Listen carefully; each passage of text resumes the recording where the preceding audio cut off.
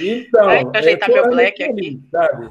Eu acho que é, acabou a gente tentando fazer essa reviravolta né, no meio de produção.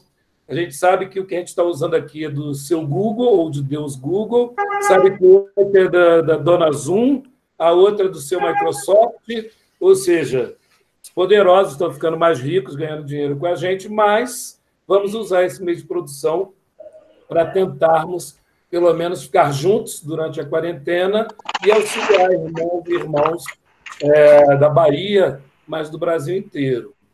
É, hoje vai ser tudo no improviso, mas como a gente combinou, é quase interno, né? É só para a gente e, claro, quem quiser olhar, mas ninguém vai se meter. A ideia é essa. Peço já desculpas de qualquer falha minha. Tá? Por exemplo, esqueci que o Stênio tinha trocado com a Tina, Gustavo. Mas era isso. E adorei aí, estou vendo o Manu aí, estou vendo todo mundo. Tiago Romero já está aí também, já chegou aí, Gustavo aí, Tiago. Vamos aqui. Vou passar aí para vocês aí. Beleza, Lico.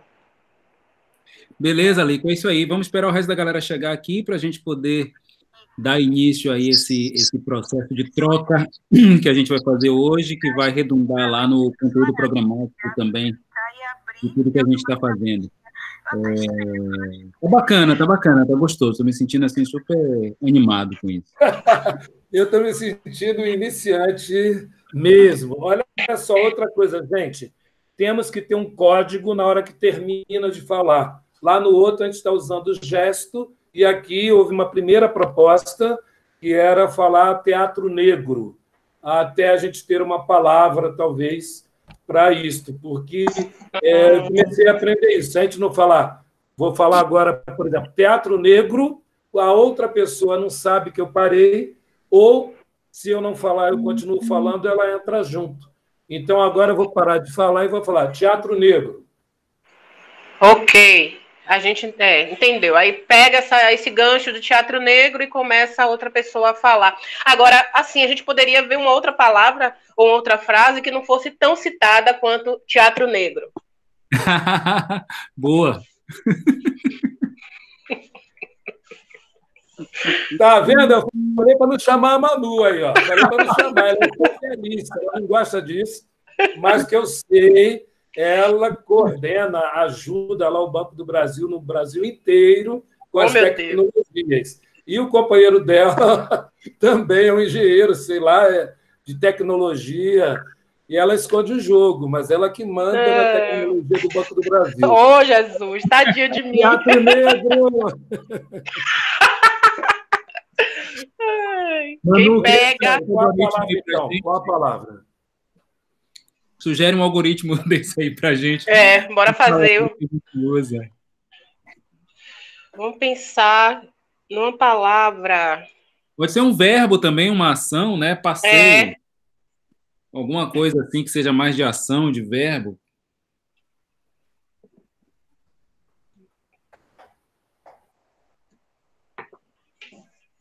Estênio, Juliana. Vamos pensar. Fabiola. É... Estou aqui dando um suporte para a Pro Edileuza. Ah, Tô lhe ouvindo, minha Pro! ah, ela tá, ela tá pelo YouTube. Eu vou mandar ela entrar pelo Meet. Em Ju, a gente está pensando aqui uma palavra que sirva de código, tipo câmbio, né? Para poder dar para o para o outro falar, para que a gente não tenha encavalamento de frases, de palavras. O Lico, Lico surgiu, é, sugeriu teatro negro. Agora, minha preocupação é que teatro negro vai ser falado muito, né? minha preocupação é essa. E aí as pessoas pensam que ah, já está na hora de falar. Aí o Gustavo falou num, num verbo, um verbo seria legal. Sim. Da gente, sim. no final de cada apresentação ou de cada fala, dizer esse verbo e o próximo já sabe que está franqueada a palavra. Massa, vamos pensar aí.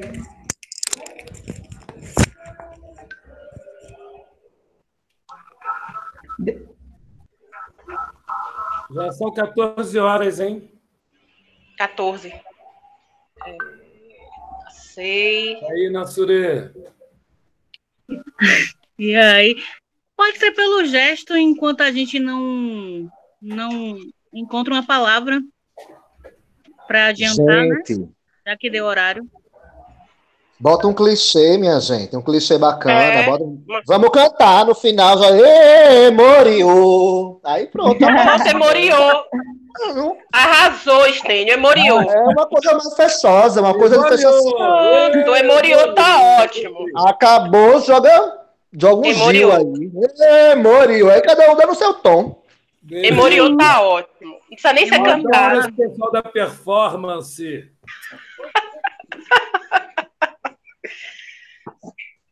Vamos começar? Cadê? Depois muda, quando a gente dançar, muda.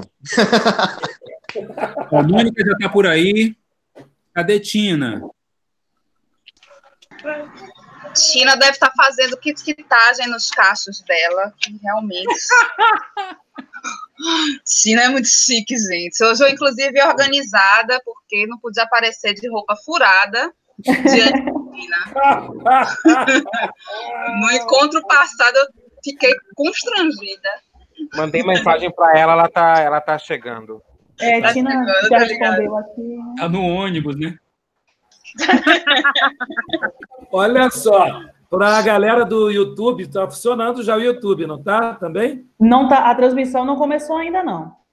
Ah, Não. é. Deixa todo Não. mundo aqui, né? Não, eu estou esperando todo mundo para. Mas já está lá o lembretezinho de que a gente vai É, É que eu ia explicar para eles, né, para não acharem que nós somos loucos aqui. De qualquer Não. maneira, Juliana, eu Sim. também estou aprendendo da gente usar o horário, né?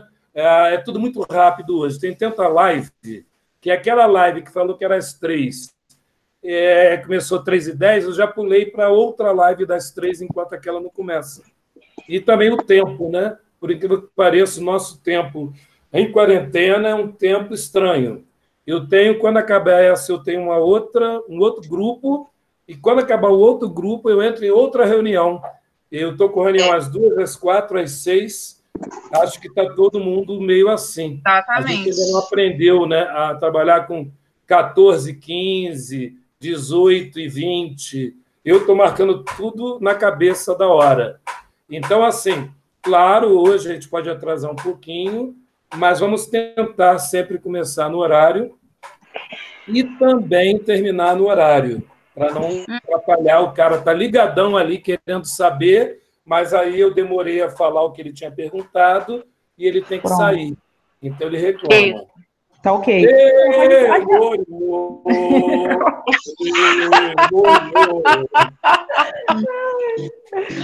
Pronto, a gente pode já. Eu já posso abrir. Na verdade, só aqui é só apertar o botão mesmo.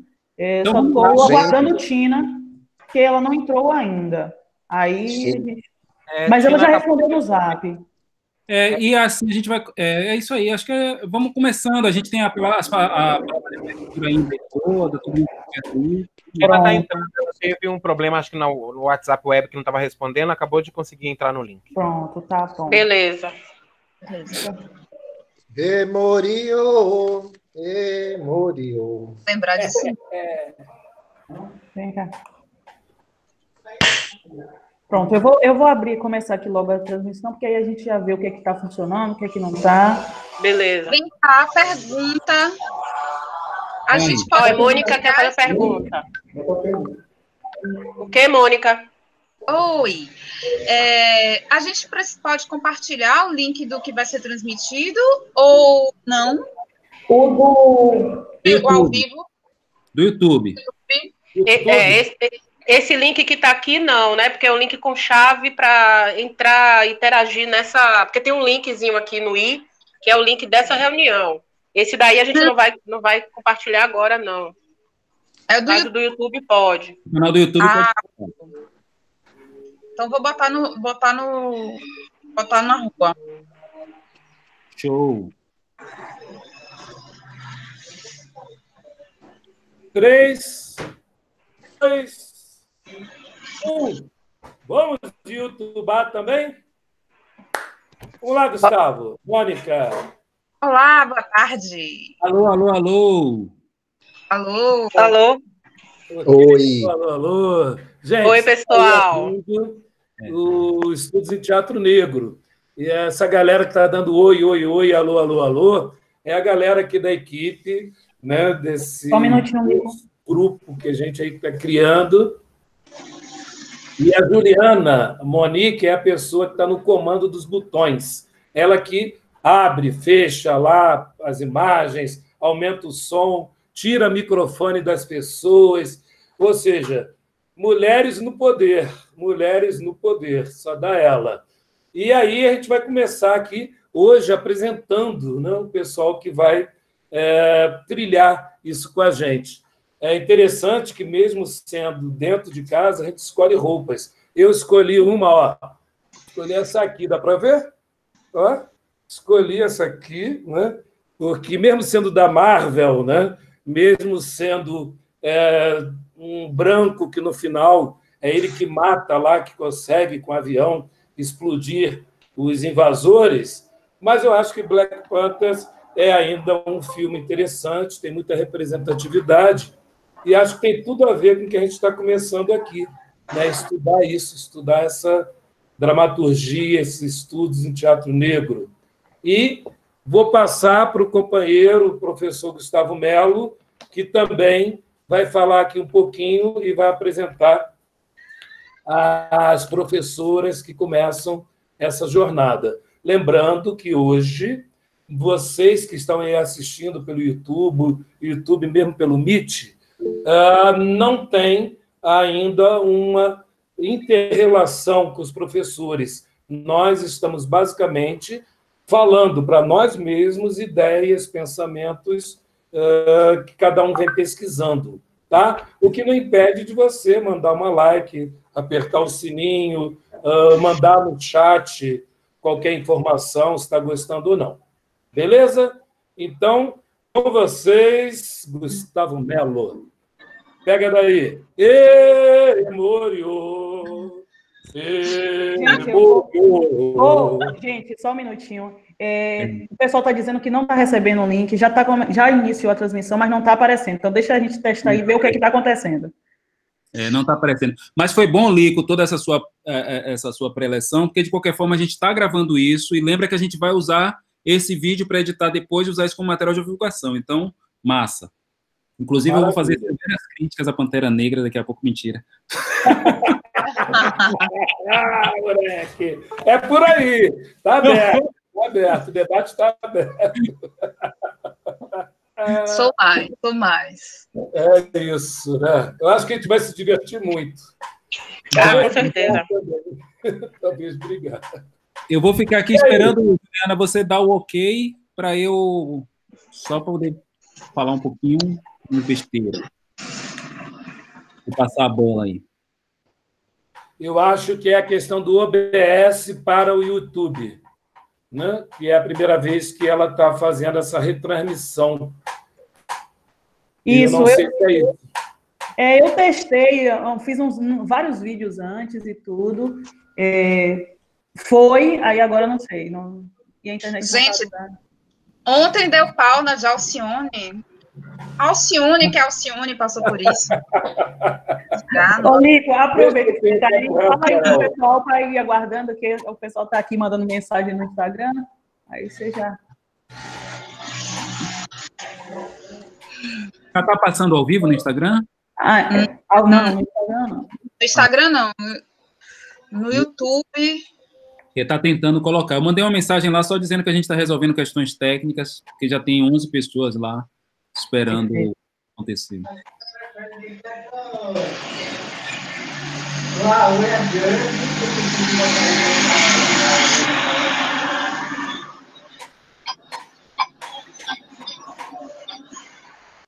Enquanto isso, roda, é, só para, principalmente na Surê, Manu, pessoal que está chegando hoje, é, essa equipe é fundamental para a gente entender né, os bastidores. Eu, por exemplo, quando eu começo a falar, eu não consigo ler o chat, eu não consigo ver quantas pessoas estão vendo, eu não consigo nada.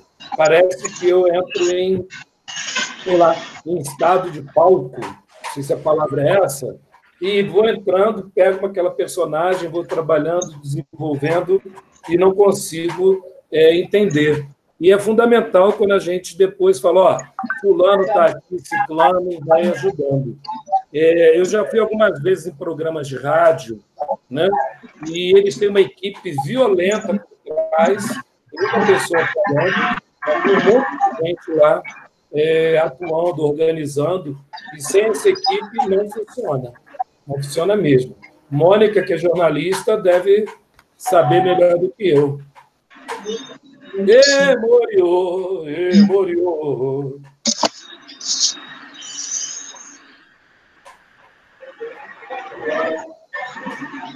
Gente, lembrem, sempre que nós estiverem falando, de fechar o microfone, tá?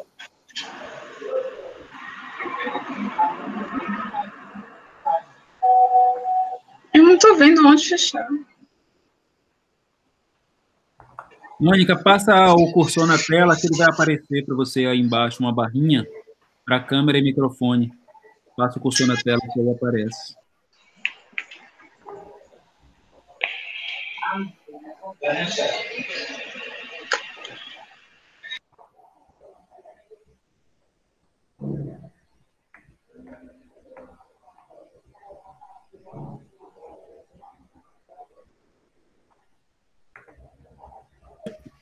Deixa eu só dar um emuriô aqui.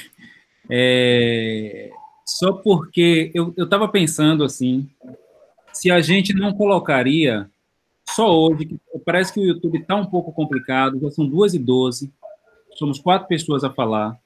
Eu não sei se lá no canal, no chat do YouTube, a gente não coloca de quando em quando o link desse, desse encontro aqui mesmo, porque é o jeito das pessoas conseguirem acessar sem a gente precisar alongar muito.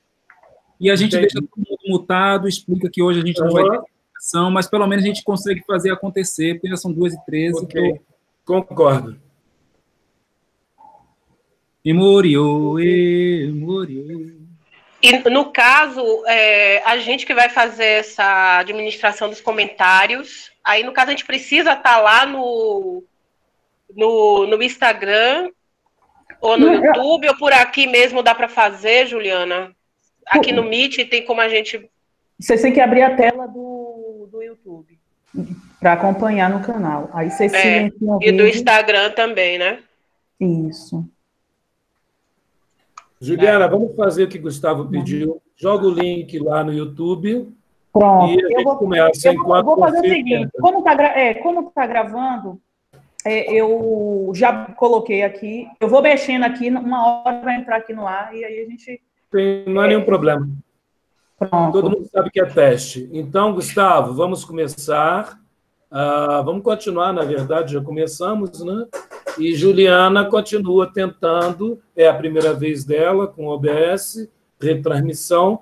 E quando entrar, Juliana, entrou lá também, nenhum problema. Ok? Vamos lá então, Gustavo. Vai lá. Apresenta aí, já está a Mônica, não sei se Tina já chegou mas queria que você apresentasse hoje, Gustavo. Beleza, então, gente. É, acho que Tina chegou, depois saiu, deve estar com algum problema na internet. Daqui a pouco. Não, ela já entrou aqui novamente, estou vendo aqui. Que Tina já está conectada com a gente, daqui a pouco ela conecta a câmera também e a gente faz. Bom, para a galera que está conseguindo acompanhar isso live, quem não tiver, eu acho que talvez seja interessante a gente colocar lá no Meet para a galera vir para cá. Se não, a gente, de qualquer forma, está gravando e vai poder compartilhar isso depois. É, esse, então, está sendo aqui o nosso encontro, é como se fosse uma reunião semi-aberta ou semi-pública. Então, a gente está fazendo aqui uma reunião nossa, na verdade, em que a gente está compartilhando uns com os outros, umas com as outras, as nossas pesquisas, perspectivas, experiências em relação ao teatro negro, porque isso é que está formando também o arcabouço, o nosso conteúdo programático, o que é que a gente vai tratar nesse, nesse curso do Estudos em Teatro Negro. Para quem está aqui, para quem está acessando, já lê um pouco do histórico também de como é isso, do que, que aconteceu, de por que, que esse curso está aqui e dessa conjunção de forças e vontades que aqui estão. Hoje, quatro pessoas vão apresentar aqui uns 20 minutinhos sobre uma ideia geral do trabalho que apresentam, suas perspectivas e abordagens. Essas pessoas vão ser Mônica Santana, Tina Mello, Mico Turli e Gustavo Melo, que é esse aqui que vos fala, tá certo? Vão ser 20 minutos, 20 a 30 de cada uma dessas pessoas. A gente vai ter uma noção do que, que é isso, estamos gravando, para que depois a gente possa abordar isso mais tarde e fazer direitinho nossa linha, nosso conteúdo programático bem bonitinho, bem organizadinho, tá certo? Então, vamos começar as nossas apresentações de hoje e vamos começar com Mônica Santana. Vocês vão perceber, aliás, eu não vou dizer isso não, vou deixar para que vocês percebam por que que é. Tá, Mônica? E.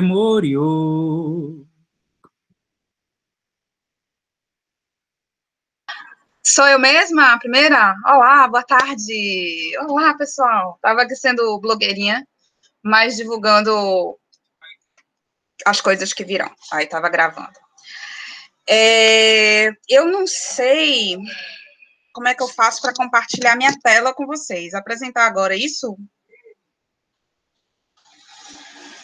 É isso. Tá, beleza.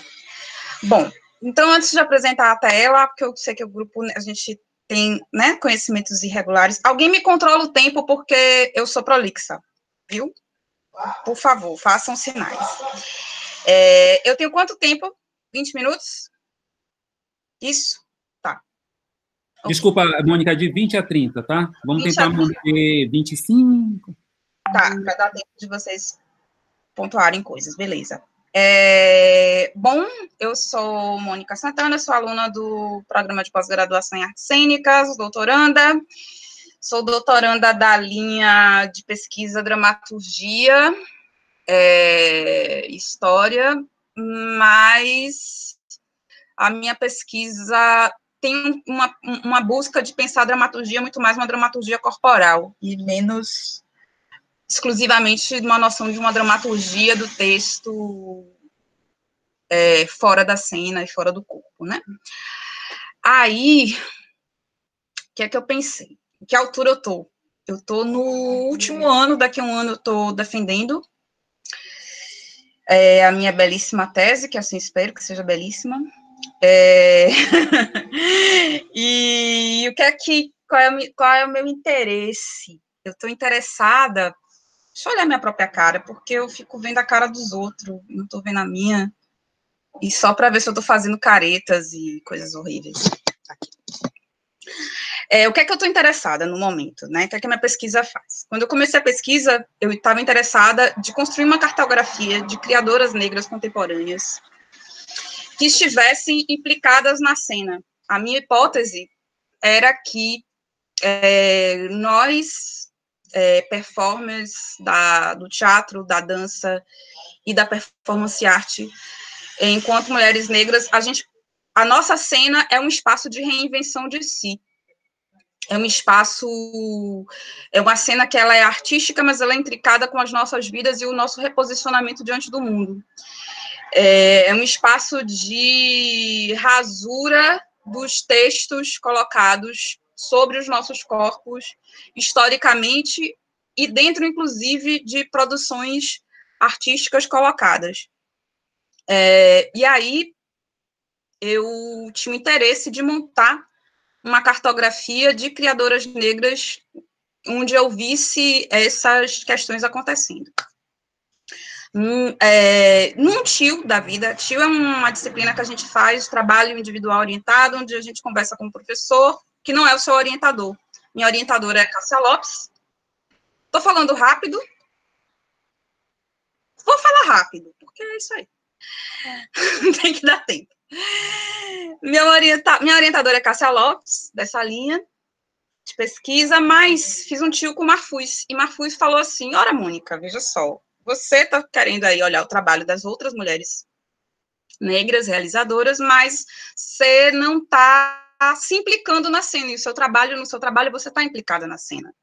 Né? Você está sob o refletor, você está diante do público e a sua vida tem sofrido as alterações a partir de estar diante do público. E aí, a partir disso, ele apontou que eu estava com medo, uma vergonha de botar minha cara no sol. Acho melhor. O que é que está acontecendo aqui, gente? Vocês estão falando comigo?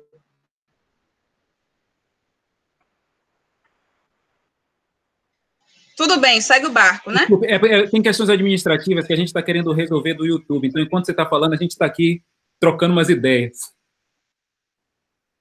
Tá bom. Então eu tenho uma sugestão, por favor, só um minuto, Mônica, que tirem a hum. imagem além do microfone, tirem a imagem de vocês na câmera, tá? Na hora que estiverem conversando é, as outras pessoas. Pessoal, conseguimos aí transmitir ao vivo, conseguimos. Entrou agora. Maravilha. Aí,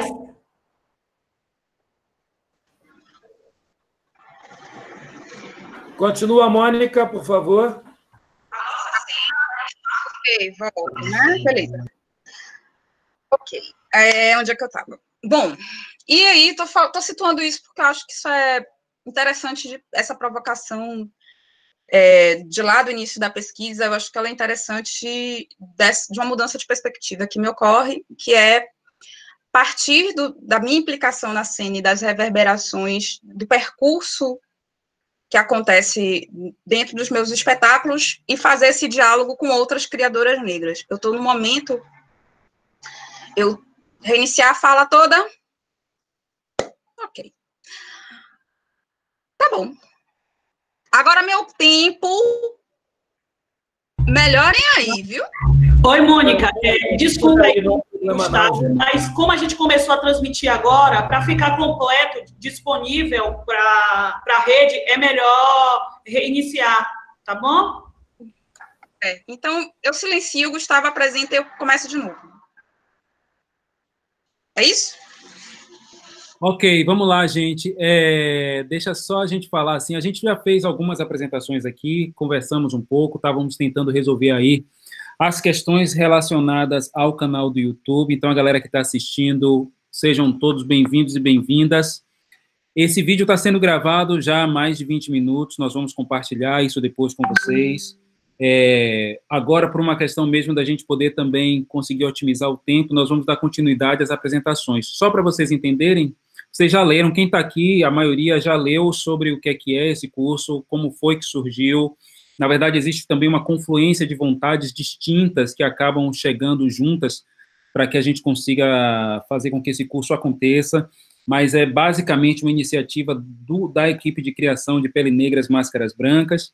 Então, é, a gente conseguiu juntar aqui uma quantidade bacana de pessoas, e o que a gente está fazendo hoje, nesses primeiros dias, na verdade, ainda não é o curso. O que a gente está fazendo, na verdade, são reuniões nossas em que a gente está é, transmitindo uns para os outros um pouco das nossas perspectivas de trabalho, de pesquisa em relação ao teatro negro, em relação à performance negra. E isso vai ajudar a gente a dar um, um molho dentro do conteúdo programático que a gente já pensou. Então é isso que a gente está fazendo, só que a gente disse assim, bom, acho que pode ser um momento tão interessante que a gente pode compartilhar isso com o público. Então a galera que está assistindo pelo YouTube está vendo um pouco de como é que está sendo esse nosso processo de conversa e de compartilhamento, tá certo? Então, hoje a gente vai ter as apresentações de Mônica Santana, que já está aí, Tina Mello, Lico Turle, Gustavo Mello, que é esse que vos fala. E cada um de nós vai ter 20, 30 minutos para poder tratar um pouco do seu trabalho. A galera vai estar assistindo, podendo entender um pouco como é que a gente está. Cada um de nós aborda a questão do teatro negro, da performance negra, e mais ou menos daí a gente vai entendendo como é que esse curso vai funcionar. Tá certo? Então, 2h24, Vamos recomeçar aqui com Mônica, que vai, Mônica Santana, que vai falar um pouco para a gente aí, a partir do trabalho dela, da pesquisa dela e da abordagem que ela tem em relação ao teatro negro. Mônica, bem-vinda. Vamos lá de novo? Peraí, Vamos lá, boa tarde. Vocês vão ouvir falar de vez em quando aqui, mas vocês vão entender por conta própria, que aqui de vez em quando a gente faz assim, ó. E moriu, e moriu. Ai, que maravilha. Boa tarde, boa tarde, amigos, amigas, companheiros de Balão Mágico. É, seguinte, eu sou Mônica Santana, sou doutoranda do programa de pós-graduação em artes cênicas.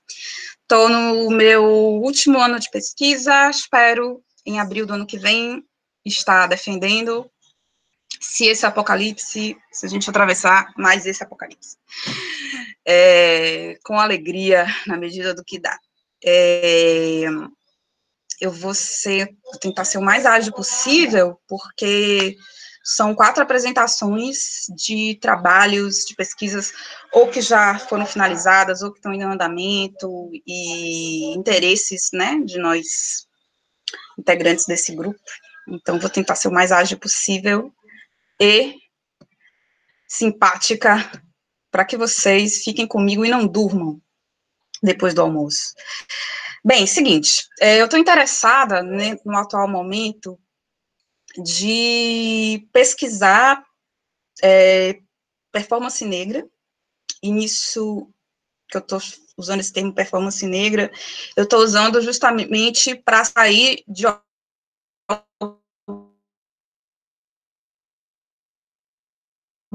o que é performance arte, o que é aquela performatividade que acontece fora dessas caixas na rua. É, então, no, eu estou trabalhando com esse termo dentro do meu da tese que eu estou escrevendo, utilizando mais esse termo do que o termo teatro, teatro negro. É, e estou interessada né? Estou construindo uma pesquisa a partir do meu trabalho. É, sou uma artista que vem desenvolvendo um trabalho com solos. Tenho três solos construídos. Um primeiro é, que foi construído durante o mestrado dentro do, do PPGAC UFBA, chamado Aprendizagem. Lá eu estava interessada em pensar o corpo dentro da obra de Clarice Lispector. Eu não estava num lugar de uma discussão racial. Mas o que aconteceu foi que dentro do processo de pesquisa do mestrado, as questões é, que, em que havia uma fricção entre o meu corpo e o texto Corpo de Clarice Lispector, onde havia uma tensão, foi me chamando para urgência de criar um trabalho de discussão racial, onde a discussão racial tivesse centralizado. E foi aí que comecei a gestar espetáculo Estuna é Mulata, que, do qual eu falo no primeiro capítulo da minha tese, no qual eu estou interessada em Mulata de fazer uma discussão sobre representação, sobre é, as representações colocadas historicamente para os corpos de mulheres negras. Então, eu estou interessada em discutir o termo mulata, em discutir mestiçagem, em discutir embranquecimento, e embranquecimento, né, a utilização das máscaras brancas como uma estratégia de sobrevivência dos corpos negros nesse contexto de supremacia racial, de colonização e colonizações atualizadas que vivemos, é, processos de invisibilização, hipersexualização, história do Brasil, enfim, esses, esses eram vários dos temas que estavam dentro do trabalho Sinamulata. É, no, e o terceiro solo, que se chama Sobretudo Amor, que vem depois de Sinamulata, onde eu também estou dentro de uma discussão, é, agora já não mais interessada em processos, de, em fazer uma discussão sobre representação, mais interessada de fazer uma discussão sobre subjetividade negra, sobre as subjetividades de mulheres negras, subjetividades, é, intimidade, é, afetividade. Foi um trabalho que foi construído a partir de entrevistas com 10 mulheres negras daqui da cidade de Salvador sobre afeto. Essas entrevistas foram registradas em vídeo, um, a gente tem uma compilação das, de trechos dessa entrevista que está disponível para quem estiver interessado em ver. Bom, é, quando eu entrei no doutorado, eu estava desenvolvendo esse, esse projeto, eu estava desenvolvendo essa pesquisa do Sobretudo Amor, eu estava fazendo essas entrevistas, e quando eu entrei no, no programa de, de pós-graduação, eu estava interessada não em olhar para o meu trabalho, mas para olhar para o trabalho de outras mulheres negras. Eu vim compreender que hoje a gente tem uma cena dentro do Brasil onde a gente tem criadoras negras de diferentes é, disciplinas artísticas, desenvolvendo trabalhos autorais, é, trabalhos muitas vezes solo, e onde elas estão trazendo suas questões é, de da, a sua vivência pessoal e questões de coletividade das mulheres negras para suas obras. Então, são obras onde elas estão implicadas na cena, na autoria, né, nos, nos, diferentes modos de autoria que a gente vai ter, na construção de uma dramaturgia, seja na palavra, seja no corpo, e estão ali presentificadas na cena. Então, é, esse era o meu interesse de pesquisa. No decorrer do processo de, da pesquisa, os meus trabalhos foram ganhando uma maior centralidade, porque eu fui entendendo, a partir da provocação da orientação, que é, se eu queria olhar para trabalhos em que mulheres negras estão implicadas na cena, eu preciso olhar para o meu trabalho no qual eu estou implicada na cena. Né? São trabalhos onde a gente tem uma estética que é uma estética de um de, um, de discursos contemporâneos nesse modo de pensar a cena. E aí, no momento atual da vida, eu estou fazendo é, entrevistas. Eu já escrevi dois capítulos pensando sobre esses meus dois trabalhos solos. Tem alguns ajustes para fazer, mas uma parte significativa desses capítulos está construída. E aí eu estou agora fazendo uma série de entrevistas com essas criadoras contemporâneas. É, Para vocês situarem que é que eu estou.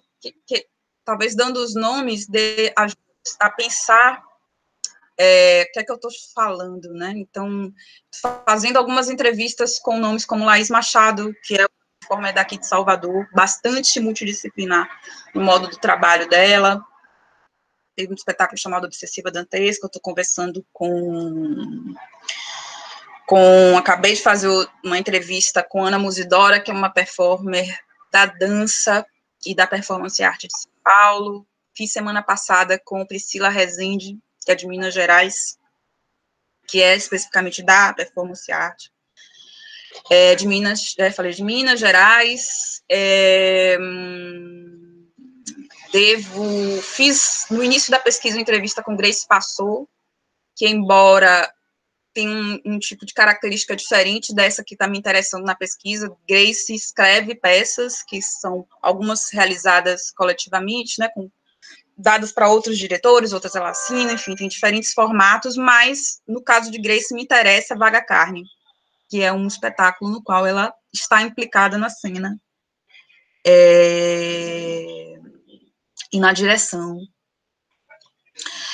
E poderia, poderia entrevistar a Fabiola Júlia, que está aqui no Surê, porque tem um trabalho que está, né, em Rosas Negras, é, eu acho que é um trabalho que está dentro desse, desse conjunto de mulheres que, que eu estou buscando, onde eu enxergo vários pontos de convergência entre os nossos trabalhos.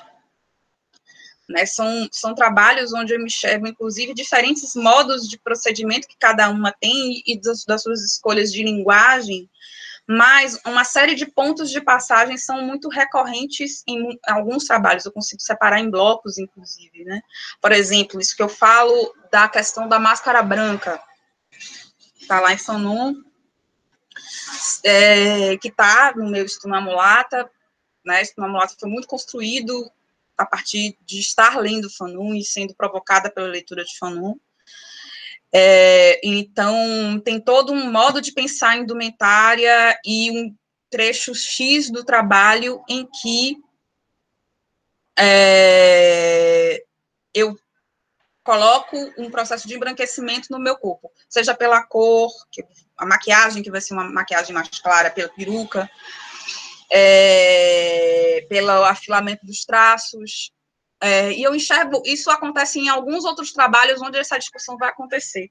Então, tem uma performer daqui da cidade, que é Yasmin Nogueira, que ela tem uma performance chamada Tutorial, onde ela faz uma série de gravações e de fotos ensinando a embranquecer, né? Dando as orientações sobre embranquecer.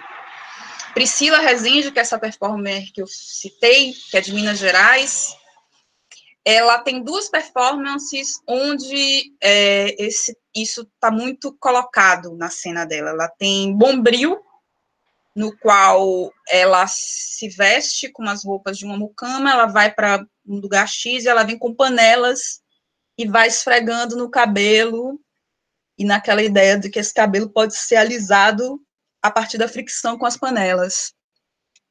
Ela tem um outro trabalho chamado.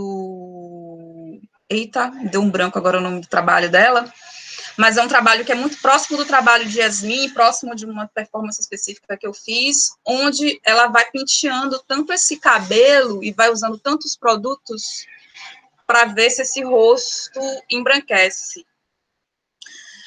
É, então, me interessa pensar é, como é que essas operações, onde a gente revela esses procedimentos históricos, políticos, sociais, a gente revela isso na cena através dos nossos corpos. E muitas vezes é uma cena que é extremamente violenta, né? São processos muitas vezes doloridos no modo da composição da cena, doloridos é, na relação com o público, né? É, então, eu estou nesse processo hoje de estar tá construindo esse diálogo com essas é, colegas que estão procedendo, estão construindo. Tá, eu acho que está vazando aqui na minha casa, gente, é porque eu divido apartamento. Espera aí. Acho que vai melhorar. Sinalizem se tiver sonhos, sons aí, coisas, tá? Estou acompanhando o chat. É, meu tempo, como tá? Tudo bem? Sinalizem também. Bem, e esse, esse, esse cenário, essa cartografia que eu estou construindo, compõe meu terceiro capítulo, que está sendo acontecendo agora. Então, está sendo um processo muito rico de estar tá conversando com muitas mulheres e ao mesmo tempo que eu converso com essas mulheres, eu enxergo frases que eu já disse, ou que eu diria, uma confluência de, desse processo dos incômodos que nos levam para uma criação cínica e da necessidade de ser uma cena onde nos coloque, onde coloque a nossa condição humana na centralidade da cena. É, Opa, alguma coisa foi dita aqui. No YouTube está atrapalhando. Alguma coisa que esteja acontecendo aqui nesse espaço ou coisas diversas? Beleza. Mônica, fecha o YouTube, fica só com o Meet. Ah, eu fechar? Mas. Você está no Meet, não está no YouTube. É, tô no, tô no Meet e o meu YouTube está fechado. Tá tá fechado. É que eu entendi que você falou que estava te atrapalhando o YouTube. Na verdade, Não. desculpa, eu acho que tem uma coisa com o modo como é, a fala dela às vezes pode estar tá reverberando e o, a, o próprio microfone dela está pegando um pouco do som do que ela está falando e às vezes no YouTube está transmitindo de uma forma estranha. Então, se ela conseguir colocar o fone, vai ficar mais limpo lá para o YouTube. Beleza. Mas deu para compreender alguma coisa que eu estava falando, gente? Ou não estava uh, rolando nada? Tá ótimo, mãe. Tá, tá ótimo. Tá. tá. Só fecha o teu YouTube, não precisa ter. Desliga o YouTube, deixa só não, esse tá. aqui. Tá, tá desligado. Ok, continua. Bem, gente, tô aqui só na dúvida se era isso mesmo que era para fazer, porque para também não ser uma coisa muito umbilical. É, eu. Ai, obrigada, Tiago lindo. Irmão Condan. É... Bom, e tem uma coisa que eu acho que eu estou descobrindo agora, que é que vem das provocações é, de leituras que eu venho fazendo. Ah, isso, acho que é interessante compartilhar isso com vocês. É, eu estou num processo de pesquisa, de fato, onde boa parte do meu referencial teórico está fora do teatro. Eu acho que muitos de nós pesquisadores de uma cena negra, a gente tem uma necessidade de estar em diálogo com autores fora do campo do teatro. É, então, tem sido muito cara a leitura de Bembe, filósofo camaronês contemporâneo.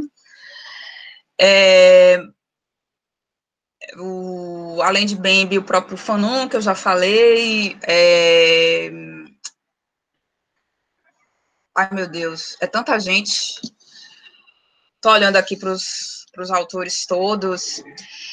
É, pensar também que nessa cena a gente tem linguagens, mas também uma perspectiva de uma, um, um, entender que é uma cena que ela é realizada numa encruzilhada cultural, que ela, ela, ela é encruzilhada, ela é construída também numa encruzilhada é, de tempos, né? São, são produções onde são afetadas é, pela espiritualidade, pelas ancestralidades, por, por um modo de construção da cena onde a gente vai ter implicações e interferências diversas.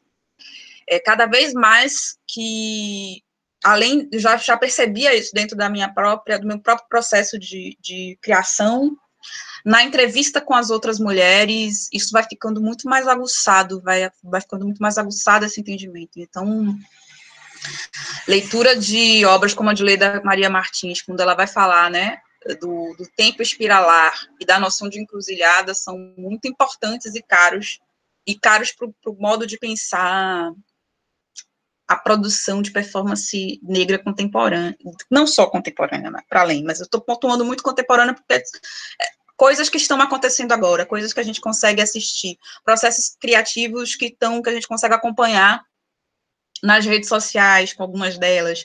Uma das mulheres que me interessam muito a pesquisa, a produção é Michelle Mathiuse. É, então, não, não é uma mulher que vai ser possível fazer entrevista por algumas questões do, do modo de, de do pensamento dela, mas é uma mulher que eu enxergo e que me provoca a, a pensar e a escrever. Então, são coisas que estão acontecendo. E, por fim, que eu não sei se eu já estourei meu tempo, vocês me digam aqui do lado, é, no atual, como é que tá? Alguém ia falar? Não, pode finalizar. Ok. okay. É... Vale aí termina aqui uma boa. Tá. Eu ia, eu acho que eu tenho uma coisa que é compartilhar, que é um último capítulo que vem me chegando quanto que não era uma coisa que existia, mas que me chega como uma urgência de elaboração e que me vem a partir de um outro referencial que não é nem do, dos autores é, negros com quem eu venho trabalhando, afrodiaspóricos com quem eu venho trabalhando, mas a leitura de, da obra de Ailton Krenak, que é um líder indígena, me provocou a pensar também sobre a produção é, de sentido na perspectiva do sonho, na perspectiva do daquilo que está fora de uma linguagem lógica e que está fora dessa noção de pele. É, e que está também embrenhado com essas outras temporalidades que nos atravessam e, e aí eu estou começando ainda aí absolutamente de um modo errático, mas estou começando um novo processo criativo e entendendo esse outro modo de elaboração é, a partir da leitura dele, mas que conversa muito com, com outros autores que eu venho trabalhando, né? Então, pensando essas outras essas epistemologias é, que nos levam para outros modos de criar e outros modos para além de uma estrutura lógica, de uma estrutura daquela linguagem que nos pede uma codificação X e tal. Então, eu acho que nesse, nesse grupo de estudos e nesse curso que a gente está forjando, criando, me interessa pensar sobre os modos como a gente vem operando, vem criando hoje, os recursos que a gente vem utilizando, cenas que estão no palco, mas podem estar na rua, podem estar na âncora do Marujo, podem estar no espaço do, de uma mulher que está atravessando a rua e que ela e o modo como ela está e o estado que ela está ali, você pode ter uma, uma potência performativa. Então, eu tenho trabalhado muito com esse termo performatividade, pensar que a nossa performance negra é uma performance que ela é cura, eu vou usar essa palavra mesmo, ela é cura de traumas históricos, ela é cura de traumas existenciais, ela é cura de questões políticas que estão acontecendo agora, é, ela é produção de devir, de pulsação, de presença, de alegria, né? Porque a gente é para além desse estado de dor que nos querem. É, e até aquele início da conversa que Lico começou falando sobre a camisa de Wakanda, etc, etc. Eu, como pesquisadora, me interessa muito pensar a cultura pop, a gente discutir sobre cultura pop, discutir sobre videoclipe, fotografia, é uma crítica que está para além das, da linguagem do teatro, mas pensar crítica cultural e pensar produções que nos afetam e que a gente leva para a cena, mas discussões que estão acontecendo ou que já aconteceram e que a gente pode reler essas obras e discutir juntos. Acho que foi. Eu não sei se tem tempo de vocês me dizerem alguma coisa, perguntarem algumas, alguma coisa, enfim. Emoriou! Oi, oi. É, eu ia sugerir, por uma questão de, do, do, nosso tempo, de que a gente pudesse pensar de talvez é, fazer todas as apresentações e, ao final, fazer alguns comentários gerais, caso a gente tem esses comentários. É, até porque cada um que for apresentar aqui, eu acho que com toda a riqueza que você apresentou, é tudo tão instigante que se a gente for começar a conversar aqui, a gente vai até umas 5 da tarde só conversando do que você falou. Então, acho que de repente a gente vai deixar a sequência rolar e depois a gente dá uma conversa mais um pouco geral. E durante o curso, são esses, essas questões, essas perguntas, essas pulgas que você trouxe, que vão realmente movimentar a gente para o curso, né? E Muriel. Gustavo, concordo, sim. Desculpe. eu concordo, eu acho que apresenta todos primeiro. Vamos lá? É, Tina, agora, você, Tina. quem é? Tina. Oi. Estou aqui tudo bom, Tina? Gente, eu não preparei os meus cabelos. Da Mônica está lindo, da Tina, lindo. Eu não tive tempo. Eu acho que daqui a pouco eu volto, viu? Só dando continuidade para quem chegou depois um pouco também na, na, na live lá do YouTube, só para saber. Então, a gente está fazendo essa reunião semi-aberta em que a gente está aqui apresentando uns para os outros, umas para as outras, os nossos trabalhos, abordagens em relação à performance negra, que isso vai dar uma incrementada no conteúdo programático que a gente já pré-formulou. E aí a gente também resolveu abrir esse link para que as pessoas pudessem testemunhar isso, observar, ver o que, é que a gente está fazendo, colocar alguns comentários aí pelo canal do YouTube, tudo isso depois vai ser lido também, e vai ser bacana para a gente poder conversar. Tá bom? Então, agora com vocês, Tina Mello. E Morio! Oi, gente, boa tarde. É, alguém pediu aqui para baixar um pouquinho a minha tela. No caso, assim tá melhor?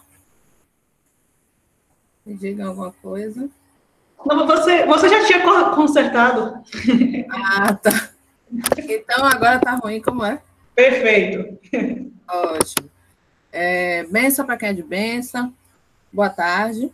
É, vamos lá, né? Sou Tina Mello, sou artista visual, estou é, doutoranda do programa de pós-graduação em artes visuais da Escola de Belas Artes da UFBA e pesquiso performance também, né? Tem vários, foi super bacana ver a apresentação de Mônica porque tem muito diálogo, né?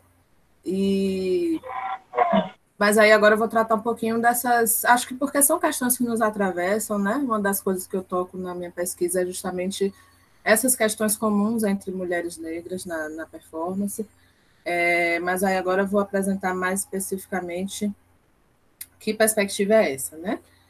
É, então, meu, meu trabalho parte é, em processos criativos, né? A linha de pesquisa de processos criativos da EBA então, eu vou exatamente falar sobre a minha produção artística, meu processo de criação.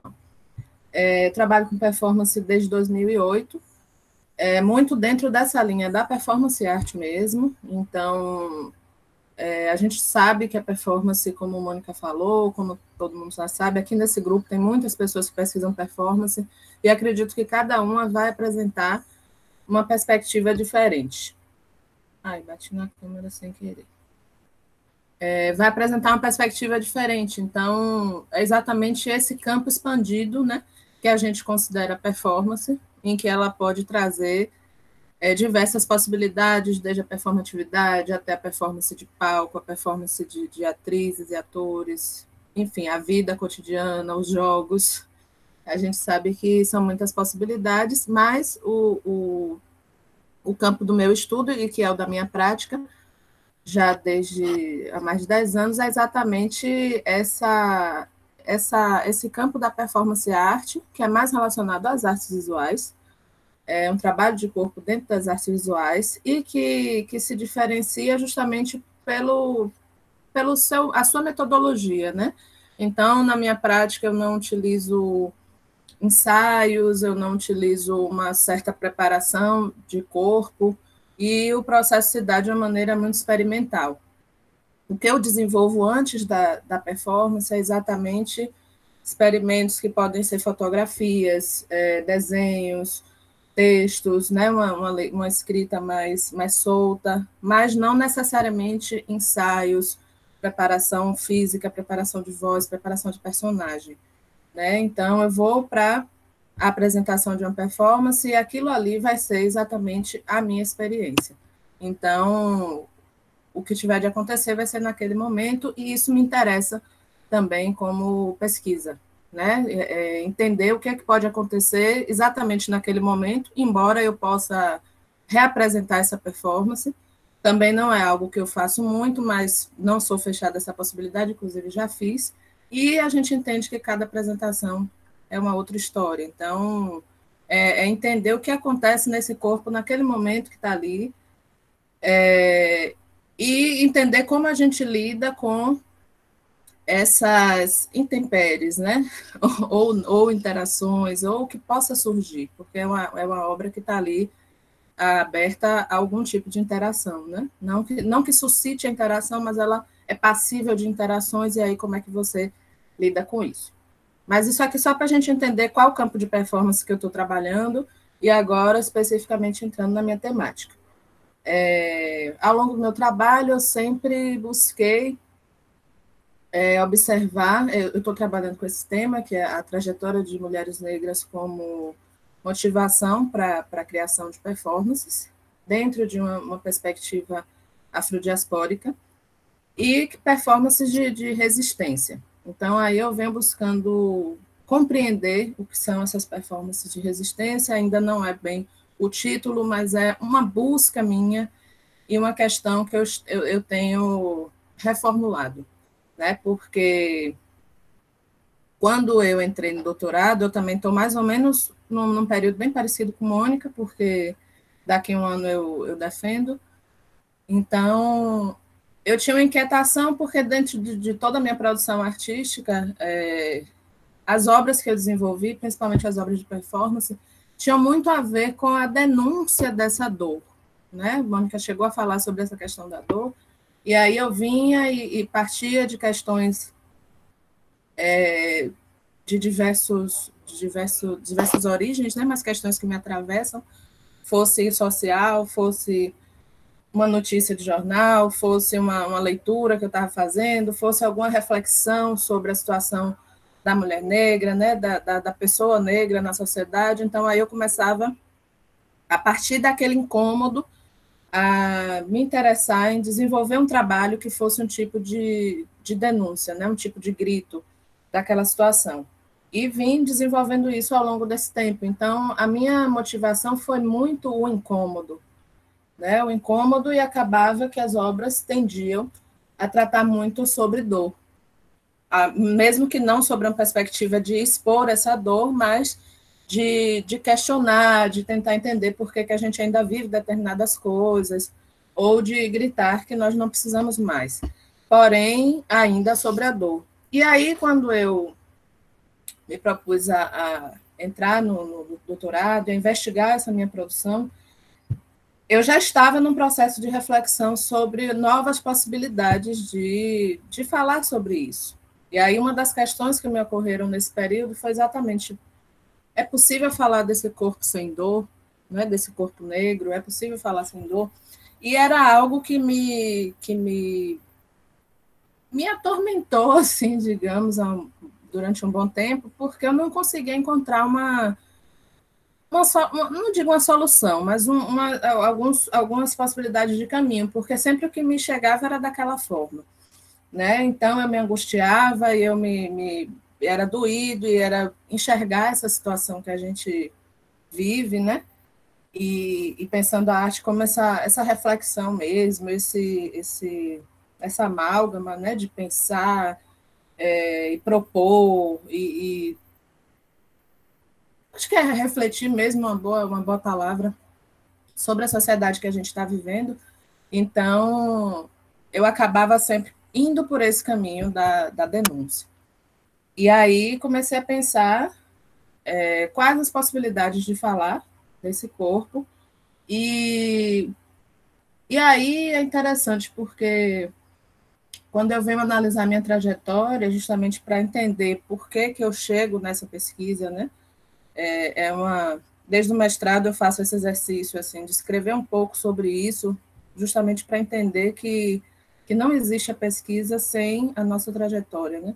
Eu não teria interesse por pesquisar isso sem compreender o, a, o meu processo, de onde eu vim, o que é que eu carrego, né? Então eu tenho escrito sobre isso. E aí pensando especificamente sobre essas trajetórias de mulheres negras, eu tive essas referências desde muito cedo, né? Ali na minha família, em Cachoeira, por ser esse lugar, embora ainda não com com o meu processo de consciência negra, né? De, de pertencimento, não com esse esse esse entendimento tão formado, mas isso já estava ali. Então, é, é, nesse momento, eu tenho pensado muito sobre como a gente pode pensar essas possibilidades do narrar, né, é, do, criar, do, do, construir narrativas, que eu tenho chamado de, de, narrativas líquidas, não por ter nada a ver com Bauman, mas pensando mesmo nessas narrativas de mulheres. É, então, como o que é que muda a partir do momento em que a gente é, passa a construir essas narrativas? Então, eu faço uma, uma, análise histórica também, mas assim muito breve, porque eu não é, pontuando algumas questões mesmo e partindo até dessas histórias de mulheres que participaram da minha vida como referências para tratar de, de questões históricas, mas entendendo a presença dessa mulher negra na arte, né, para justamente chegar na performance. E quais essas questões que implicam nisso aí, né? Dificultando ou facilitando, ou de que forma é que, que essas mulheres encontram. É, e aí, em Cachoeira, eu vou partir para a Dona Dalva do Samba, que é uma referência para mim, uma mulher negra, charuteira, né? Que montou o primeiro grupo de, de samba de rodas lá de Cachoeira. E aí entender a maneira como ela, dentro de um trabalho, ainda ali nos primeiros anos do, do pós-abolição, ela conseguiu uma emancipação e foi começando a desenvolver a arte dela, né? Assim como várias outras mulheres. Aí falar da referência da Boa Morte. Então, são exemplos de mulheres e de, e de resistência. Então, como é que eu vou analisando essas possibilidades de, de construções dessas mulheres que sempre estiveram ali? Embora num, num discurso mais. É, não diria orgânico, não é essa palavra, mas do vivido, né? Então, elas já estavam ali exercendo um tipo de feminismo negro, de, de vida e arte, de desenvolvimento de suas práticas é, artísticas e, e a, a, o trabalho, né? A vida na família, já num processo todo que, que tem muito a ver com tudo isso que eu estou falando, né? A, a trajetória dessas mulheres, a resistência dessas mulheres e a produção artística né? embora dentro de várias áreas, né? e até mesmo do, do aspecto da, da cultura. Mas isso me serve como referência para pensar essas trajetórias e a produção de, de arte.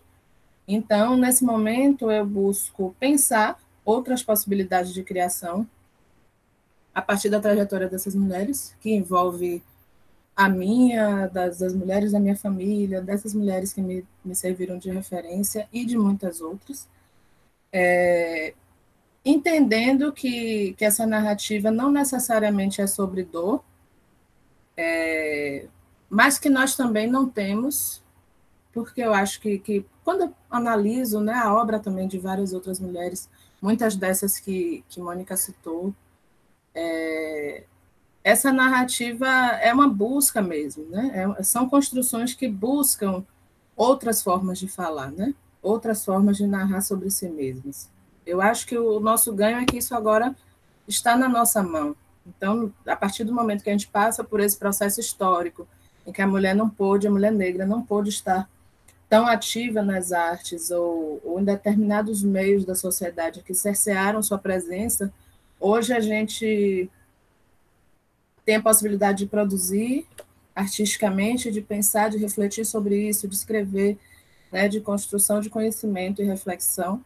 Então, a gente muda um pouquinho essa perspectiva do olhar. Não é esse olhar do outro que quer nos dizer o que nós somos. Né? Então, inclusive, falar sobre a nossa dor. Somos nós que estamos construindo possibilidades narrativas a partir da nossa implicação, a partir das nossas histórias, e a partir daí é que a gente vai entender se existem e quais são esses caminhos de, de novas narrativas.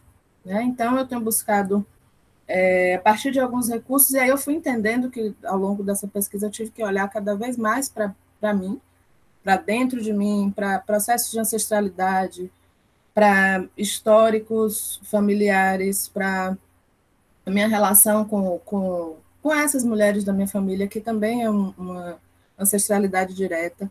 Então, como entender isso tem me ajudado a encontrar outros caminhos de criação, né? Então, assim, está muito alinhavado, né, a, vida e a arte nesse sentido de entender quanto é, é, todos os meus processos de, de, de amadurecimento, fosse como pessoa, fosse como espiritualidade, como eles se refletiram na minha arte. Né? Então, eu tenho pensado muito, olhado para a minha produção, observado isso, é, e uma das transformações mais significativas foi justamente o meu processo de iniciação, que culminou com a, a justamente esse momento em que eu estava entrando no, no doutorado. Quando eu me confirmei, e aí, de fato, a minha perspectiva de, de trabalho muda. Então, eu vou buscar mais referências de, de ancestralidade para pensar esse corpo atlântico, né? pensar esse corpo de, de diáspora é, e essas possibilidades de criação de, de outras narrativas é, para esses corpos de mulheres negras. Então, não é uma coisa definitiva também. Acho que tem um pensamento que tem me surgido muito ultimamente, a partir de todas essas análises, de, de revisitar, porque quando eu comecei a pesquisa, era muito assim, ah, não, não pode ser sobre dor, a gente precisa falar sobre outras coisas e tal. Só que eu não consegui encontrar caminhos, né? Eu não consegui encontrar, é como se eu estivesse precisando de respostas, né? Eu tivesse que dar essas respostas. Mas, na realidade, eu fui entendendo que é um, é um processo mesmo, né? É, é gradativo. Então, não vai ser de uma hora para outra que a gente vai passar simplesmente a falar de, somente de outras coisas. Porque essa dor existe Lembro de uma conferência que eu mediei com, com Renata Felinto, que também é uma artista da, da performance que eu admiro muito, ela disse assim: é, a gente ainda não consegue não falar sobre essa dor, né? Porque ela não foi resolvida. Então, não é, não está lá, né? Às vezes, quando a gente fala, parece que é algo, ah, mas você ficou presa no passado, né? Não, não é mais sobre escravidão, mas é sobre essas é, reverberações, essas sofisticações, né?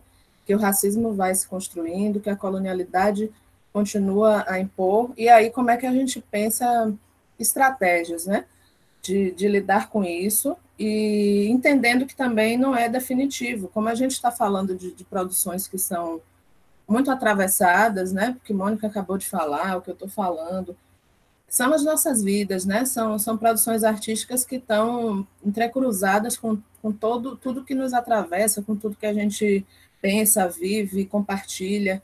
Então, ela não vai ser sempre uma coisa nem outra.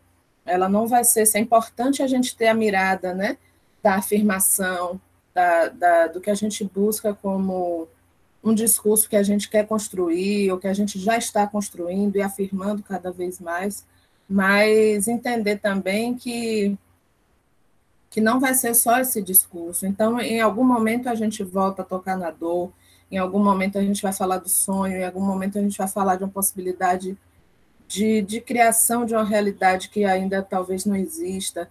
Então, acho que o importante também é isso, é a gente se permitir essa multiplicidade de discursos, né? que, que não esteja numa história única, que não esteja, é, mais uma vez, a gente fazendo esse serviço de se colocar nas gavetinhas em que a gente só pode falar de uma forma. Né? E aí também, é mais ou menos isso, né? Então, eu estou bem num, num processo de, de, reformulação também de algumas questões da pesquisa, mas as, as motivações são muito essas. É, venho de um processo também de, de buscar é, valorizar essas vozes, porque se a gente fala desses processos todos de invisibilização que a, a mulher negra sofre, então a gente não pode deixar de trazer é, outras vozes, né? Então, trazer referenciais teóricos, meus referenciais majoritariamente são femininos, é, mulheres negras, então, é, é, como a Mônica falou, a gente acaba precisando recorrer a discussões que não são necessariamente da arte, mas que são sempre muito, muito pertinentes. Então, trazer Angela Davis, Bell Hooks, é, Beatriz Nascimento tem sido, que é brasileira, né? É uma, uma teórica importantíssima para o meu trabalho. Ela vai falar do, dos quilombos, né? Fazendo toda uma, uma reflexão que é muito interessante, que é da área da, da história, mas que é muito pertinente para a gente pensar arte.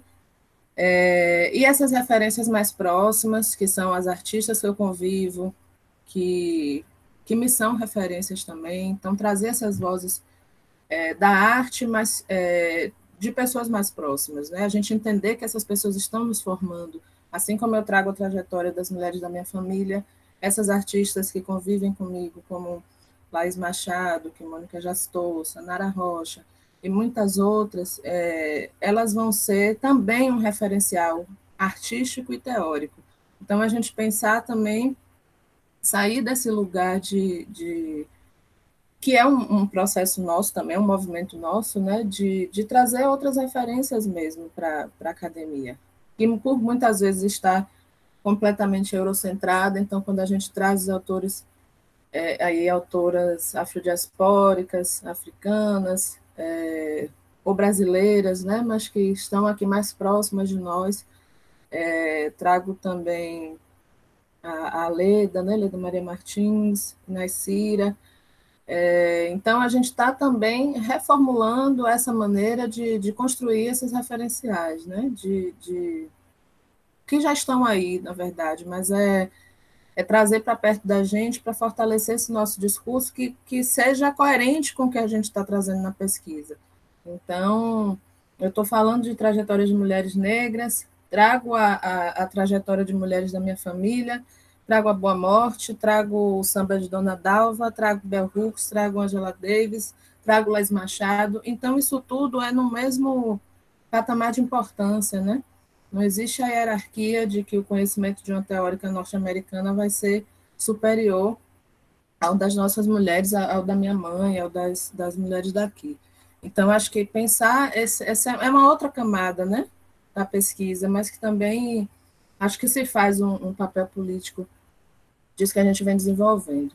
Não sei como é que está meu tempo, comecei a falar aqui desvairadamente.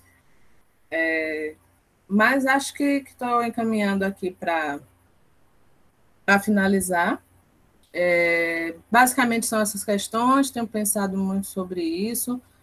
É, ainda tinha muitas outras coisas aqui que a gente pode conversar depois, mas é mais ou menos para vocês entenderem esses meus interesses. Então, pensar essas trajetórias de mulheres negras aí para motivação da, da criação, é, da análise da, da prática, né, das minhas performances, o diálogo dessas é, referências que são artísticas e teóricas, e não acadêmicas, então, o cruzamento de tudo isso, e o entendimento de que dessa importância de, de quando a, a, possibilidade de criação dessas narrativas está nas nossas mãos, como que a gente trabalha com isso, né?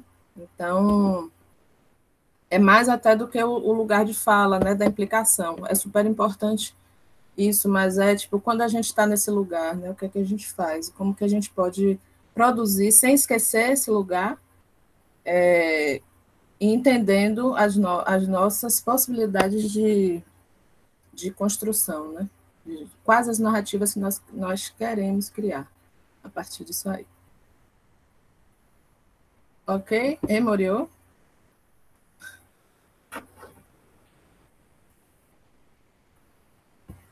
Emoriô! Hello, ok. Alô. Vai, Gustavo, abre sua imagem. Espera que eu vou abrir aqui a imagem. É, então é isso, assim, Tina, valeu, obrigadão ter compartilhado aí. É, temos agora aqui Lico e eu para apresentarmos. É, Lico, eu ia pedir para você fazer agora, mas depois eu fiquei ouvindo né, atentamente o que Tina estava falando, eu achei que tem uma camada de diálogo bem interessante com a minha pesquisa. Aí, se você não se importar, eu queria fazer isso agora só porque eu acho que alinhava bem com o que Tina estava falando, que alinhavou bacana também com o que Mônica estava falando. Eu acho que acaba criando uma dramaturgia interessante aqui, por enquanto, se você não se importar. Não me importo, não, claro, Gustavo. Siga, vá lá. Beleza, então. É, novamente agradecendo. Marca o tempo para mim também, gente, porque eu sou empolgado. São 3 e 12 agora. É, eu queria fazer aqui uma apresentação, então, um pouco da minha pesquisa, da, enfim, que, na verdade, é, acaba sendo também uma abordagem interessante sobre, quer dizer, uma abordagem que, para mim, é instigante sobre o que é o teatro negro, que acaba meio que sendo um pouco do que todo mundo aqui está fazendo, né? Quer dizer, a gente meio que vai se situando sobre o que é que a gente faz enquanto a gente faz a gente não está só fazendo, a gente, na verdade, está também, e isso é muito louco, porque a gente vai, acaba buscando, de uma certa maneira, justificativa para aquilo que a gente faz. O que é uma coisa muito louca, se a gente for pensar assim, de forma existencial também, em relação à pessoa negra no mundo também, que parece que nossa existência também demanda uma justificativa. É como se a nossa existência por si só fosse uma coisa que ela não bastasse. A gente, de alguma maneira, precisa demandar uma justificativa em relação à nossa existência. E eu me implico e, e completamente me coloco nisso. Eu acho que quando eu vou para o mestrado e para o doutorado para poder tentar pensar teatro negro e tal, a partir, inclusive, do modo como eu trabalhei e pratiquei teatro negro junto com a Companhia dos Comuns, é um pouco nesse sentido também, de tentar buscar uma justificativa, né, de, de, de por que é que aquilo existe, de por que é que eu faço aquilo. Isso eu acho que é bem, bem interessante, eu acho que um, um pouco um, um, um, elemento recorrente nas nossas práticas e, e abordagens.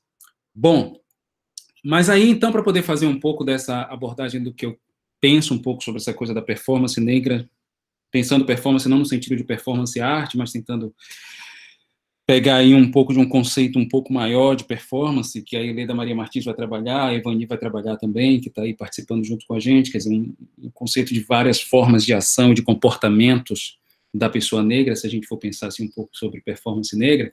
Eu queria começar um pouco trazendo isso aqui a partir de um pró, do prólogo que eu trago na minha tese, que são pequenos elementos e pequenas historinhas que eu trago que, de alguma forma, me ajudam a afunilar sobre o que, é que eu acho importante trazer em relação à performance negra. De um modo geral, para poder abrir assim um pouco, eu sempre trabalho a performance negra a partir de uma ideia de corpo negro, na verdade, tentando pensar o corpo negro como elemento constitutivo, essencial e necessário da performance negra. E, logicamente, aí a gente tem um monte de coisas para discutir sobre o que é, é esse corpo, o que é que implica ter esse corpo em cena e tudo mais. Mas aí eu queria trazer um pouco dessas historinhas, assim, de como é que eu vou chegando um pouco nessa coisa desse corpo. E aí, no prólogo aqui da minha tese, eu vou trazer que no verão lá de 2000, eu vou, é a primeira vez que eu encontro com Cobrinha, lá no Rio de Janeiro, que me foi apresentado por Márcio Meirelles. Na época, Cobrinha estava querendo montar um grupo de teatro negro e queria montar um grupo só com um elenco negro e tal, e, e que depois se tornou a Companhia dos Comuns de 2001. Né? E em 2000 a gente teve esse primeiro almoço, lógico, eu já tinha trabalhado aqui um pouco com o bando de Teatro Lodum, é, fazendo assistência de direção e trabalhando um pouco, até atuando também junto com o bando. E depois, quando chega lá com a Companhia dos Comuns, eu me empolgo com essa, essa possibilidade. Estar tá lá no Rio de Janeiro, tinha ido para lá para trabalhar com televisão, outras coisas, e depois eu poder ter um grupo de teatro onde eu pudesse desenvolver um pouco essa ideia de um, de um, grupo de teatro de teatro negro. Mas quando chega em 2001, quando a gente finalmente já tinha estreado nosso primeiro espetáculo tal, a gente estava conversando e Cobrinha estava um pouco já me, me, me colocando um, um, pouco uma certa imposição de que eu tinha que fazer é, mestrado, eu tinha que depois tentar um doutorado, alguma coisa, porque eu gostava de ficar pensando sobre o que era teatro negro, o que não era teatro negro e tal. Nessa época, logicamente, que a gente já ficava lendo ali Leda Martins e tal, discutindo várias coisas. E uma das coisas que eu conversava com Cobra é que, para mim, um grande desafio que se colocava era a gente poder pensar o teatro negro de uma maneira em que a gente não excluísse o corpo negro da cena. E aí, assim, parecia, logicamente, uma coisa muito óbvia, né? Se, eu estou falando de teatro preto, logicamente eu estou falando de performers negros e negras, e quando eu estou falando dessas pessoas, logicamente eu estou falando de corpo preto, mas para mim não era tão óbvio assim do mesmo jeito que eu via que não era óbvio no samba, que o samba é uma música negra, mas não necessariamente ela precisa ter negros no palco para que ela seja executada. Então, é, da mesma maneira, eu ficava pensando assim, bom, se a gente focar muito também no aspecto estilístico e de linguagem do teatro negro, a gente também cria um modelo que pode ser simplesmente apropriado, exercitado, praticado por qualquer pessoa. Né? Um dos exemplos que eu usava com cobrinha, inclusive, era em relação à capoeira. Quer dizer, você tem a capoeira, tá? Uma luta negra, uma arte marcial negra, tal, bacana, mas se você chegar na Suíça ou na Suécia, você vai ter grupos absolutamente não negros é, fazendo sua capoeira em 100%. E você não vai poder deixar de dizer que aquilo é capoeira. Né? E aí, quando eu pensava também sobre a questão da música, eu dizia a mesma coisa. Você pega também as músicas baianas e tal, achei music, parará, parará, você pode falar de toda a raiz negra, mas você também pode simplesmente tirar todos os negros de cena e colocar somente brancos executando aquilo, e não vai deixar de ser música negra. Você coloca o chorinho no Rio de Janeiro, era muito comum, inclusive nessa época eu passei ali pela Lapa e ver as pessoas tocando chorinho e tudo mais, e às vezes eu via grupos de chorinho 100% brancos. Então, aquilo me dava uma certa angústia também de ficar pensando sobre essa coisa de como é que uma, de uma cultura, uma linguagem começa a ser exercitada e começa a se formalizar de tal maneira que ela começa também a se tornar independente do corpo, né? Começa a se destacar de ter aquele corpo como um corpo que realmente a, a executa. Então eu fui ficando com isso na cabeça de como é que eu poderia também começar a construir um pensamento e criar uma argumentação que fosse mais interessante no sentido da gente poder pensar como é que o corpo se tornava essencial naquilo. É lógico que a gente tem todas as questões políticas, raciais, sociais que a gente poderia utilizar para poder justificar esse corpo negro em cena como sendo um elemento essencial do teatro negro. Mas eu simplesmente achava que aquilo não era, não seria o suficiente talvez alguma coisa na linguagem, que já que a gente estava pensando um pouco em linguagem, como é que a gente pode pensar essa linguagem, que essa linguagem de fato esteja tão intimamente associada ao, ao, ao teatro negro? Bom, passado mais algum tempo, quando foi lá em 2007, eu lembro que, isso eu estava falando de duas histórias, de 2000 e 2001, agora estamos aqui em 2007, tivemos um encontro, eu, Cobrinha, Rodrigo dos Santos e Ágata Oliveira, nós fomos encontrar com Tadashi Endo, ali na Caixa Econômica, no Teatro Nelson Rodrigues. É, Tadashi ia fazer lá um espetáculo de Butomá, que é o estilo dele de Butô, e, e a gente, na época, estava começando a preparar o quarto espetáculo da Companhia dos Comuns, que se chamaria Silêncio, que acabou se chamando realmente Silêncio. E, na verdade, eu acho que nem o título tinha na época direito, mas a, o silêncio era meio que o tema, ou seja, quer dizer, na verdade, fazer um espetáculo que fosse muito corpo, né, que fosse um espetáculo que usasse a palavra ou que rompesse o silêncio só quando fosse absolutamente necessário. Essa era a ideia inicial do, do espetáculo, que eu acabei não fazendo também por outras questões que foi na época que eu fui também me iniciar no candomblé e tal, então depois eu me afastei do, do espetáculo, não pude fazer. Mas a gente foi ter esse papo com o Tadashi que ficou também muito gravado em mim, porque quando a gente foi falar com o Tadashi, a gente estava buscando algumas outras referências para fazer o teatro negro, que fossem referências não europeias, mas que também não fossem necessariamente as referências que a gente já vinha trabalhando há algum tempo no teatro negro, né? Buscando algumas outras possibilidades. E o Butô era uma dessas possibilidades por conta de uma provocação que Zebrinha tinha feito uma vez e tal. Então a gente foi conversar com o Tadashi. Quando a gente conversou com o Tadashi, a gente falou assim: olha, a gente estava pensando no Butô como uma fonte de inspiração, não necessariamente para fazer o Butô, a gente não quer fazer Butô em cena, mas talvez seja uma fonte de inspiração. E foi interessante o modo como o Tadashi reagiu, porque ele falou assim: ah, que bom, eu fico agora muito mais tranquilo da gente ter essa conversa, porque eu estava preocupado de vocês quererem fazer Butô. Porque o Butô é uma arte intimamente ligada ao corpo japonês. E só o corpo japonês pode fazer butô. Aquilo foi meio chocante, assim, eu, não, eu, fiquei assim, mas será que é porque corpos negros não podem fazer butô? Realmente corpos não japoneses não podem fazer butô? Eu fiquei um pouco com aquilo super grilado na cabeça. E ele foi continuando, eu fui entendendo melhor. E ele foi dizendo assim, e está intimamente ligada ao corpo japonês, porque está ligada a uma experiência pela qual o corpo japonês passou está intimamente ligada à explosão das bombas atômicas de Hiroshima e Nagasaki. Então, aquela experiência da bomba atômica, da quantidade de vidas dilaceradas em instantes, daquela onda de calor absurda, das consequências que se tem com radiação, tarará, tarará. Então, tudo isso é que faz o Butô. É por isso que o corpo japonês é o corpo que tem a ver com o Butô. O Butô ele começa a surgir, então, como uma forma de expressão naquele período. É como se fosse um modo em que aquelas pessoas, alguns artistas começaram bem no underground, de forma bem combatida e bem marginalizada no início, começaram a tentar dar um sentido para elas naquele mundo logo depois de um evento como aquele daquela magnitude, com aquela proporção, com aquela força de destruição. Então, era essa experiência que fazia com que só o corpo negro, na opinião do, do Tadashi, pudessem fazer o butô. Aquilo ficou muito gravado para mim. Aí eu fiquei assim, nossa, começa a fazer um sentido maior para mim, começar a pensar em quais são as nossas experiências negras que podem dar sentido para a gente pensar que só os nossos corpos é que podem fazer o que a gente chama de performance negra, ou que só os nossos corpos é que possam fazer aquilo que a gente vai chamar mais especificamente, que eu coloco o teatro negro como parte dessa ideia de performance negra, que eu vou tentar esboçar uma definição daqui a pouco, o que é que faz com que a gente faça esse teatro negro realmente como algo fundamentalmente vinculado, constitutivamente vinculado ao corpo negro. E disse assim, poxa, mas qual é essa grande experiência que a gente tem. É bem óbvio, até, mas que assim, entrou num padrão de normalização que a gente às vezes meio que se esquece, que seria a experiência da escravidão. E aí é, começa a entrar num dos patamares que eu acho do que, do que Tina falou.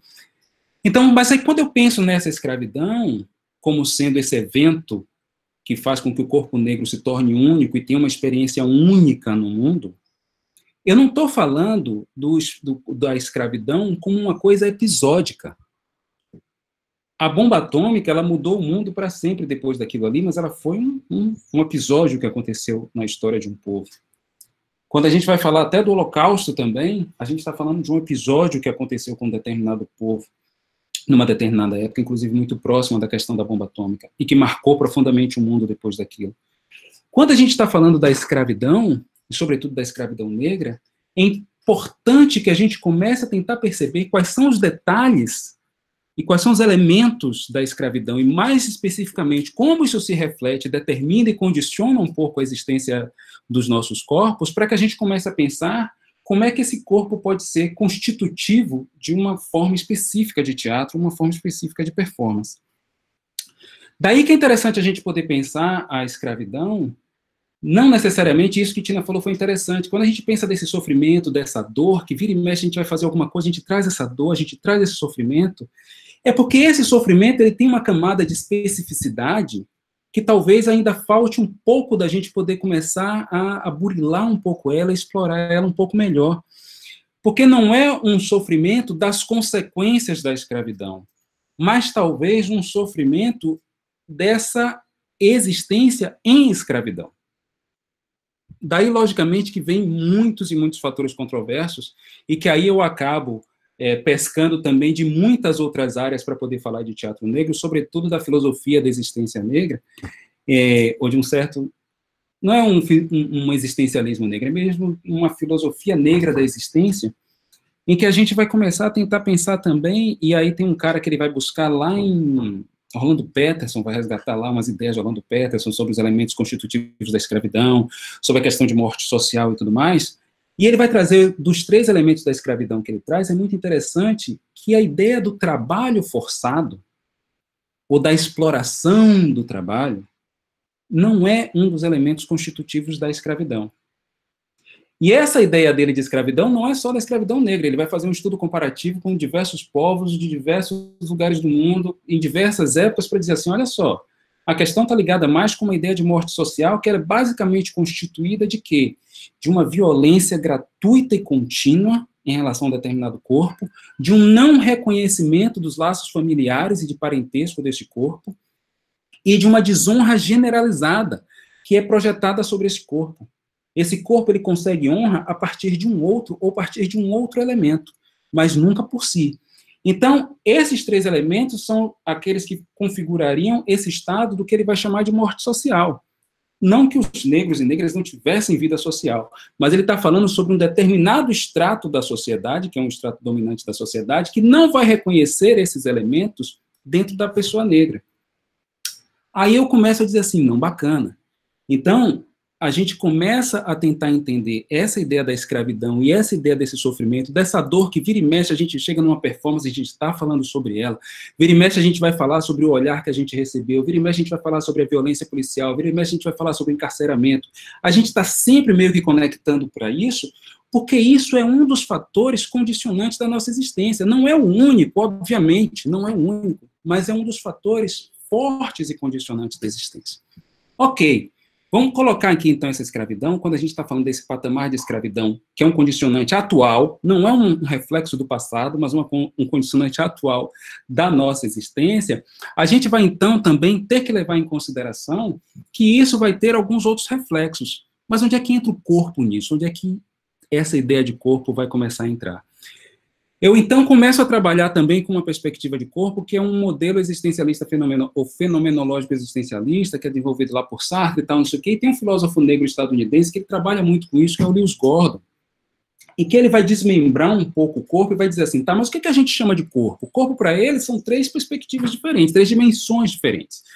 Uma primeira dimensão é a consciência no corpo, quer dizer, não é uma consciência como se fosse Deus, algo onisciente, não. A consciência é uma perspectiva, a partir de um determinado corpo.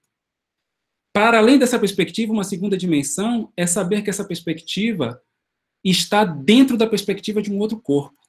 Quando eu olho um outro corpo, eu faço daquele corpo um certo objeto que me ajuda a me constituir como sujeito. Só que aí vem uma terceira dimensão, que é aquele corpo faz o mesmo comigo e eu sou consciente disso. Então vamos assim, tentando resumir. Três dimensões basicamente são uma consciência com uma perspectiva, depois o fato de que essa consciência é vista dentro da perspectiva de um outro corpo, e finalmente essa consciência tem a capacidade de refletir sobre como esse outro corpo a enxerga.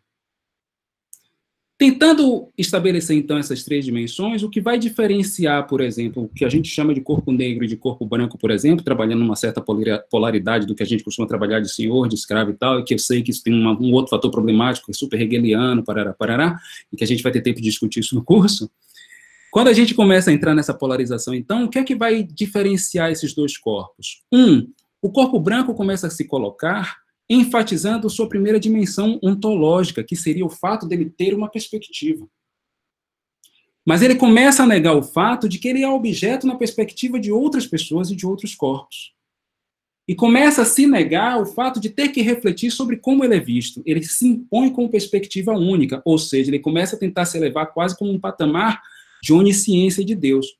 E o corpo negro, por sua vez, ele começa a ter a sua perspectiva do mundo podada, cortada, o seu discurso, a sua experiência de vida, a sua alteridade, ter nas mãos os instrumentos para poder saber como se manifesta no mundo, esses são os aspectos prioritariamente cortados para que o corpo negro seja, basicamente, o objeto que ajuda o sujeito a se constituir como tal. Ok, beleza. Chegamos a essa ideia de corpo negro que, ai, super dolorosa, chata pra caramba. Ao mesmo tempo, como é que então a gente pode pensar esse corpo negro, ajudando a gente a entender o teatro negro, não só numa análise crítica, mas também dentro de uma perspectiva criativa. O que é que eu começo a fazer e começo a trabalhar, e meu trabalho aqui na tese vai um pouco por aí, e na parte artística ele vai um pouco paquerando com isso. Eu começo a entender, então, que essa ideia de corpo negro ela pode funcionar como uma ferramenta analítica muito potente. Porque ela começa a me mostrar o teatro negro como um dos mecanismos ou uma das tecnologias possíveis para tentar transformar o corpo negro. Transformar o corpo negro em que sentido? No sentido, por exemplo, de fazer enfatizar a sua perspectiva e no sentido de redimensionar a sua posição como objeto, e no sentido também de trazer essa reflexão sobre como o outro nos vê dentro da perspectiva deles, de como é que eu redimensiono isso. Redimensionar essas três dimensões ontológicas do corpo acaba sendo um dos objetivos que a gente pode encarar dentro do teatro negro.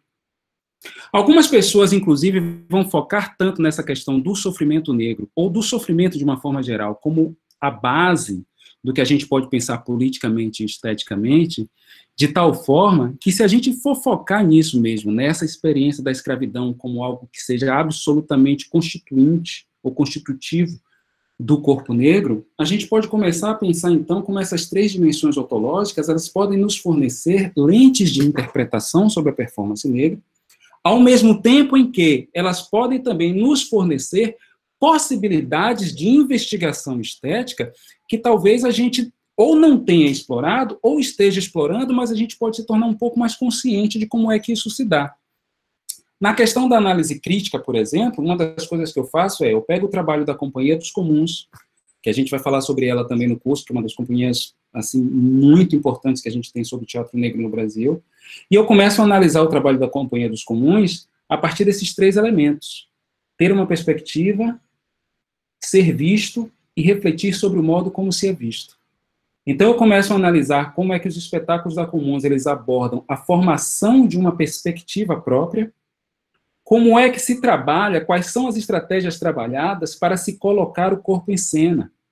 E que isso vai levar em consideração não só a formação do público, mas também vai levar em consideração o lugar onde esse corpo vai se apresentar, que tipo de teatro esse corpo vai querer ocupar, em que bairros ele vai estar, e estando num bairro ele adquire, ele faz uma determinada estratégia, estando no outro bairro ele faz uma outra estratégia, de modo que a experiência estética, ou a apreciação e a fruição estética começa mesmo à medida em que você se aproxima do espaço. O espectador, quando ele se aproxima do espaço, ele começa a entrar num trabalho de fruição estética muito antes, inclusive, do terceiro sinal de quando ele vai começar a assistir o espetáculo. E o terceiro patamar é o modo de atuação em relação ao público e em relação ao personagem. Então, é trabalhar como é que essas camadas de realidade e ficção são manejadas em cena pelo performer negro, pela performer negra, no sentido de é, criar estratégias para ser visto de forma menos objetificada ou para tentar começar a fazer valer a sua subjetividade política e sua subjetividade artística. Isso é um campo para onde eu vejo o corpo negro como essa ferramenta de análise. E já terminando, quando eu vejo o corpo negro como uma outra ferramenta que é potencializando as questões estéticas, artísticas e de linguagens, eu vou começar a tentar trabalhar esse corpo negro no que ele desafia algumas outras questões existenciais, como, por exemplo, pensar esse corpo negro, isso eu vou explicar depois por causa do tempo, pensar esse corpo negro como num estado de suspensão. Eu penso esse corpo negro no estado de suspensão, porque quando eu estou falando de que a gente ainda está num período de escravidão, eu estou falando de que talvez ainda exista uma percepção predominante sobre o corpo negro que, inclusive, nos afaste daquilo que se considera um ser humano. Aí que a minha definição geral de performance negra acaba sendo aquela performance ou encorpamento da tensão entre a condição de ser negro e a condição de ser humano. Não estou dizendo que não sejamos seres humanos. Estou dizendo como é que a gente lida com as percepções dominantes sobre os nossos corpos. Então a gente explora e desenvolve mecanismos, talvez até para aumentar essa tensão, desafiar essa tensão, ignorar essa tensão, quebrar essa tensão ou quebrar com um desses polos, que talvez seja essa própria ideia de humanidade. Então a gente vai brincando um pouco com essa com esse fator quando a gente está fazendo a performance negra. É, uma das formas de brincar com esse fator, por exemplo, é da gente começar a pensar como é que a gente lida com a questão da palavra, como é que a gente lida, lida com a dimensão de tempo, como é que a gente lida com a dimensão de espaço. Esse corpo que talvez não seja, ou não é visto como um corpo propriamente humano, não que ele não seja, mas não é visto como um corpo propriamente humano, acaba vivendo num estado de suspensão espaço-temporal que pode ser explorado, inclusive, em que tipo de dimensão temporal a gente quer trazer dentro da performance. Uma das dimensões temporais, por exemplo, que eu venho explorando em algumas experimentações que eu tenho feito é, é a dimensão do tarde demais. Que existe um filósofo que fala isso sobre essa dimensão como uma dimensão de tempo, e eu vejo isso em Fanon, quando Fanon, às vezes, vai falar da experiência negra, que o negro está correndo atrás de recuperar determinadas coisas, atingir determinado patamar, e que ele vai dizer assim, ou é muito cedo, ou é tarde demais. Então, existe um lugar do não mais e ainda não, não mais escravizado, mas ainda não integrado na sociedade, esse espaço aqui de suspensão é um espaço que eu entendo que permite uma exploração estética e política impressionante e necessário. E terminando mesmo, mesmo, mesmo agora, essa experiência negra e esse sofrimento que talvez seja muito peculiar, Tina, da questão negra, e por isso talvez ele seja tão recorrente, é que é um sofrimento que talvez, e aí já fica uma provocação para Lico, que vai falar agora, que talvez seja um sofrimento que a o vocabulário político desenvolvido a partir da ideia de sofrimento, da opressão, ou a partir da ideia de sofrimento da subalternidade, não nos bastem. Talvez esses vocabulários políticos sejam até vocabulários com os quais nós dialoguemos, mas talvez o nosso vocabulário político e estético ele não seja nem o da opressão e nem o da subalternidade. A experiência negra talvez esteja indicando para a gente outros caminhos e outro vocabulário e outras estratégias políticas e estéticas que a gente tenha que explorar, mesmo em que em alguns momentos ela vai entrar em conflito, tanto com a ideia de opressão quanto com a ideia de subalternidade. Qual é esse caminho? Eu acredito que muitos dos trabalhos, inclusive dos que estão aqui, já estão começando a apontar. A gente pode só começar a tentar conectar um pouco esses pontos. Bom, é isso. Espero não ter passado muito tempo. É, deixa eu ver se eu lembro como é a música. É Moriô.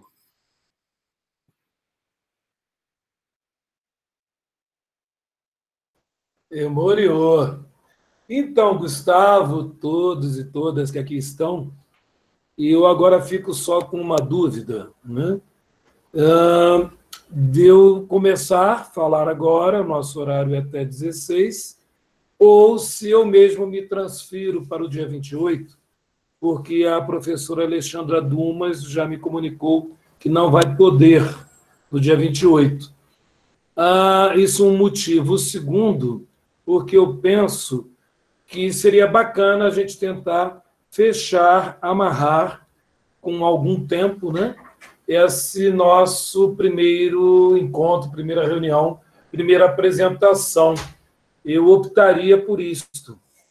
Eu não sei o que vocês acham, mas eu optaria por deixar esses 20 minutos uh, ah, para a gente amarrar. O que, que vocês pensam? Emoriou? É, Lico, eu, eu, eu, é, enfim, apesar de toda a curiosidade, vontade, ansiedade de estar ouvindo você fazer essa colocação dentro desse conjunto de ideias que a gente está trazendo, eu acho que é prudente e agradeço sua generosidade nesse sentido. Realmente, 20 para as 4, com as considerações finais, para a gente poder fechar isso com calma e a gente transferir para o dia 28, sobretudo porque já tem uma vaga, eu acho que seria o mais prudente para a gente fazer hoje, sim. Memoriou. Sim. Ok. Então é isso. Acho que Tina, Mônica, você, e se alguém do nosso corpo docente quiser falar nesses últimos minutos, mas devolvo para vocês, tá? Emorio!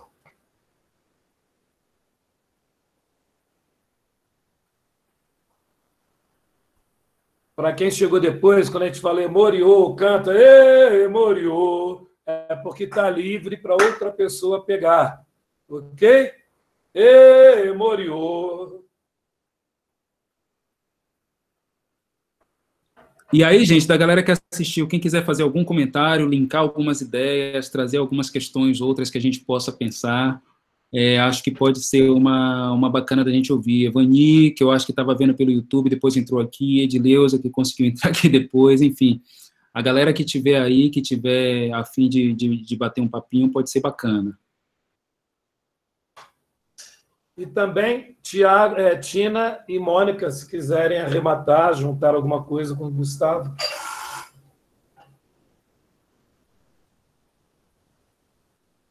É, espera aí. Olá. Eu estou muito feliz, assim, de ouvi-los, porque eu acho que as pesquisas, pelo menos esse panorama de hoje, não tinha sido pensado, né, de bloco, um bloco X com contemplar temática X, mas eu acho que a gente está desenvolvendo um percurso muito próximo. Já tinha tido a oportunidade de ver, de, de, de ouvir Gustavo falando sobre o trabalho de pesquisa dele, e ouvir Gustavo sempre para mim é muito inspirador, me traz muitos insights, Gustavo, assim, acho que eu lembro de uma exposição que você fez, onde você fez um, esse questionamento sobre a noção de humanidade, né? Se interessa para a gente mesmo insistir é, em fazer parte desse negócio aí. É, me trouxe um insight muito potente, assim, que está totalmente dentro do, do, que eu venho elaborando hoje. Esse pensar o corpo, estava aqui falando na janela do lado com China, é, ouvir Tina e, e, ver muitas confluências, assim, tem coisas que Tina fala que eu enxergo que está no, tá fluindo na escrita, tanto pelas referências como sobre o pensamento do olhar para o trabalho das outras criadoras como referências, né, como citá-las é, não no lugar de um objeto, mas no lugar de, de referência, de, de, de, de, de entender e se entender e se compreendendo o conjunto. Fico muito feliz, assim. E, e animadíssima para as trocas e para tudo que a gente pode elaborar juntos. E fico curiosa de saber, porque tem tanta gente linda aqui ouvindo a gente que eu queria saber o que, é que elas. Como é que as coisas estão batendo. Pronto, Emoriu!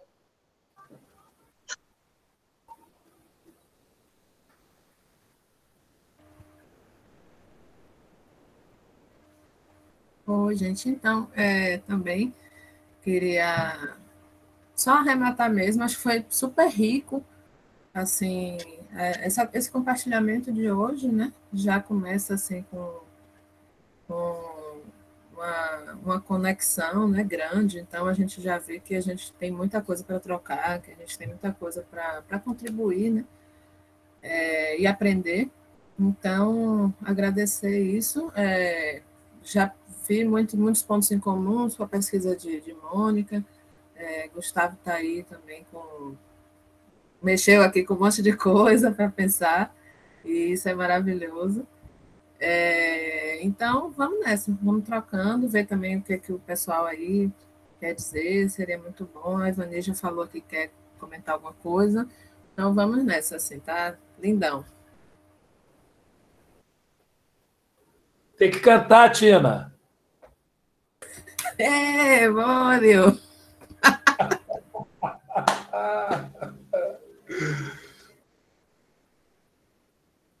Gustavo. Evani, Evani que queria falar, dar um alô. Joga duro aí, professora.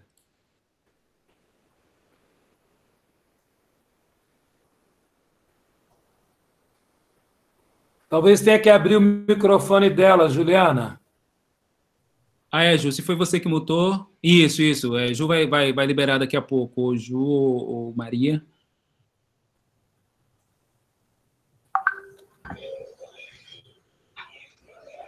Juliana? A, a própria Evani que tem que abrir o microfone. Evani, está contigo, então. Abrir aí o microfone para poder você falar.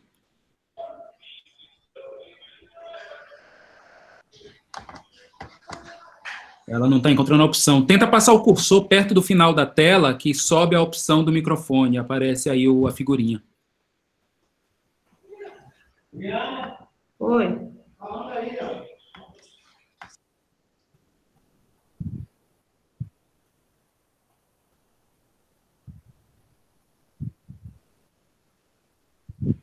Foi, aí, Evani, aí, massa. Só, é, Edileuza, por favor, você fecha o seu, só para não dar um Sim. eco aqui.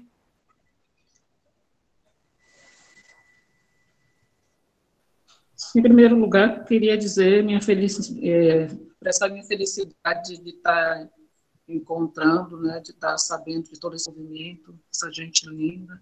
Isso é maravilhoso, né? A troca do conhecimento. É, não deu, eu acho que é chegada ainda, tudo ainda é novo, não dá para fazer conexões ainda assim, né, com as falas, mas por conta talvez do veículo, né, ainda a captação é um pouco mais demorada e tal.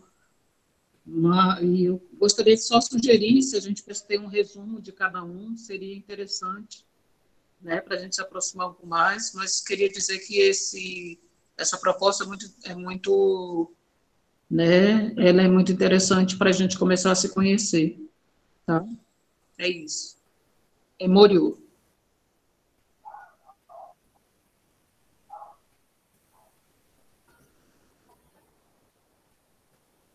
Massa, Evani, obrigado. Oi, estamos aqui. Edileuza tá afim de também dar um toque aqui? Vai, aí abriu o microfone, joga duro.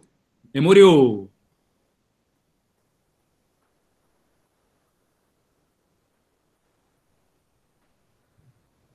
Vai, vai tentando aí, porque o seu microfone está aberto, mas ele não está captando o seu som.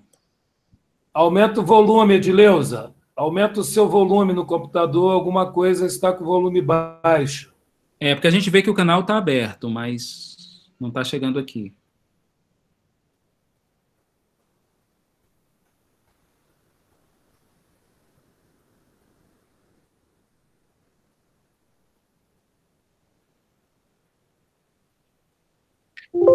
Opa, joga aí para ver. Ok, Edileuza. Não estamos ouvindo. Não. Edileuza, você está com um microfone ou um fone de ouvido para captar?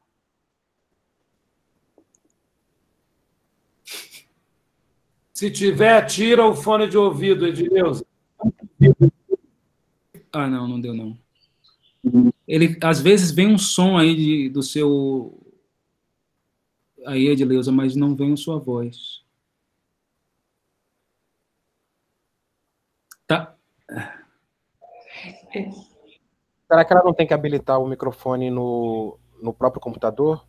Perfeito, Tiago. Acho que tem que fazer isso. É liberar. Acho que ele pede autorização para usar o microfone ou alguma coisa assim. Tem que liberar esse microfone. É, eu acho que ele pede autorização para vídeo e áudio. Aí tem que apertar, Edileuza. Lá embaixo, na barra lá embaixo.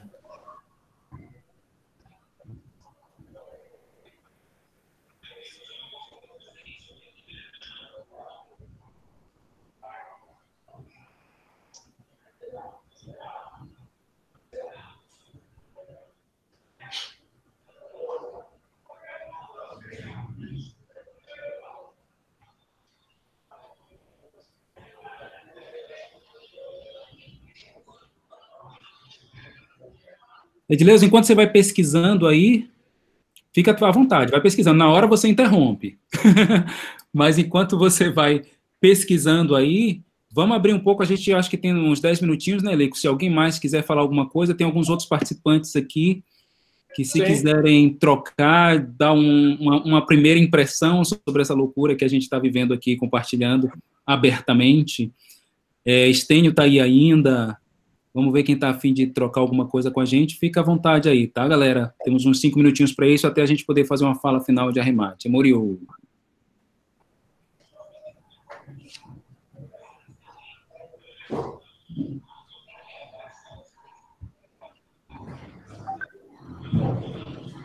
Stênio, você gostaria de falar? É, você conseguiu? Você está usando o computador, notebook? Pronto. Você tem... Quando você acessa a sala? Juliana está com o microfone aberto. Vai, vai, Edileuza, tranquilo, vai aí. Não, Enquanto aí, isso, diga, diga. essa imagem dela é porque está havendo a captação do áudio. Isso. Porque funciona exatamente desse jeito. Quando você fala, né, é a sua imagem que aparece aqui. Bem, eu só ia comentar, eh, se o Stênis estiver aí quiser participar, que a gente está fazendo essa, digamos, apresentação, que foi uma sugestão do professor Stênio, que cada um falasse um pouco e depois a gente chegasse a uma possível é, forma para o curso, um planejamento para o curso.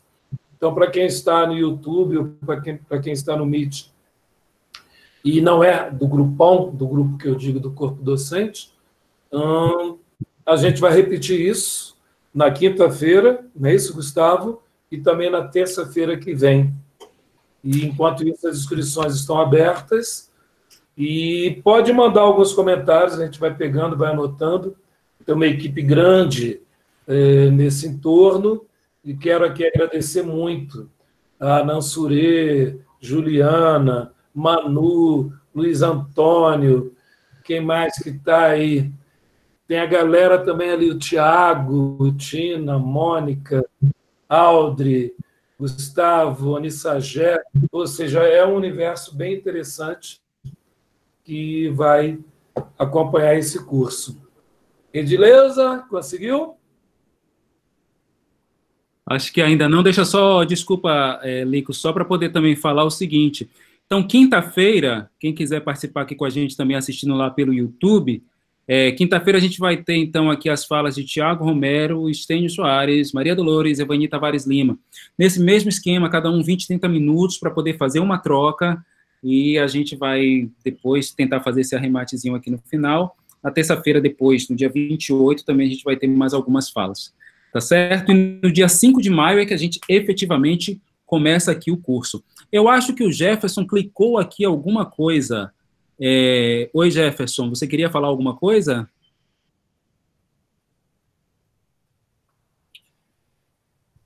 E muriu.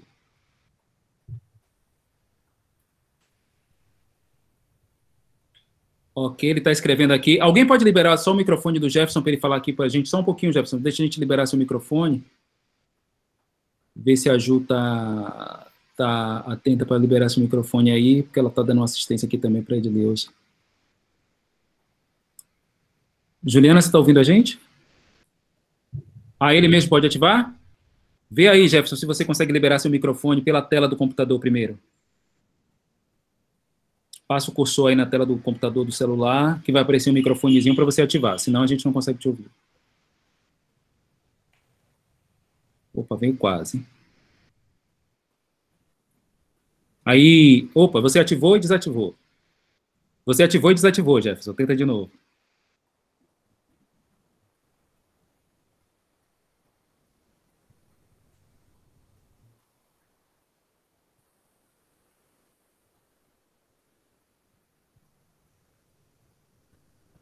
Não está rolando. Uma pena. Juliana, ele, ele pode fazer mesmo sozinho?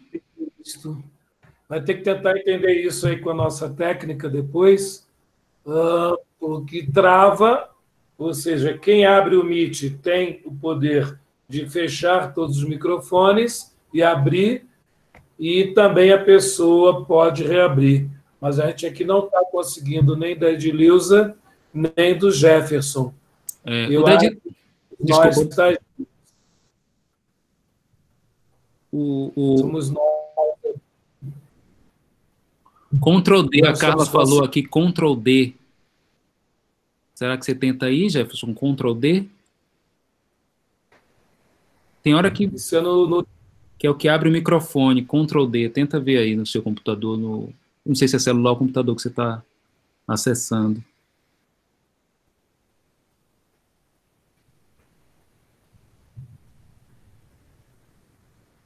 Não rolou. Olha, é assim mesmo, tá? Daqui a pouco a gente se entende com isso e a gente vai ter que se entender porque essa pandemia, pelo visto, vai demorar.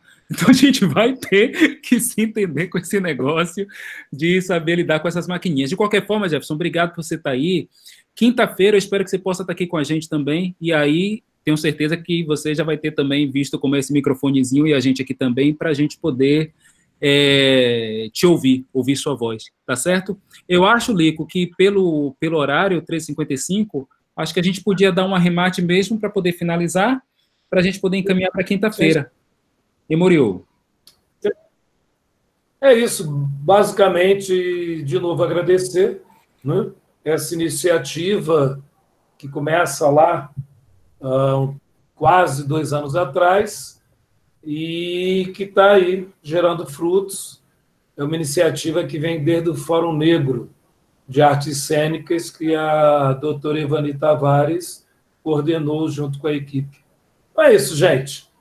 Ótimo ver vocês. Valeu, Ivani, valeu, Dileuza, valeu, Tiago, valeu, Tina, valeu, Gustavo, Manu. Oi. Oi, Juliana. Oi, é, vamos tentar aqui ouvir pelo menos a voz da professora Dileuza. É, eu estou com ela aqui no, no, no celular, é, vou ficar a imagem e ela vai falar aqui, vocês é, ver se consegue captar aí pelo, pelo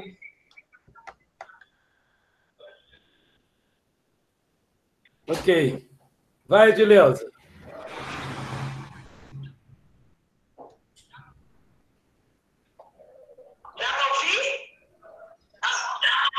Você tem que botar o microfone é, no teu microfone, o teu. Pode falar, Edileuza. Desculpe aí, mas eu não tenho tanta intimidade com a internet. Mas, assim, é, eu estou muito feliz de estar aqui. O que vocês falaram também,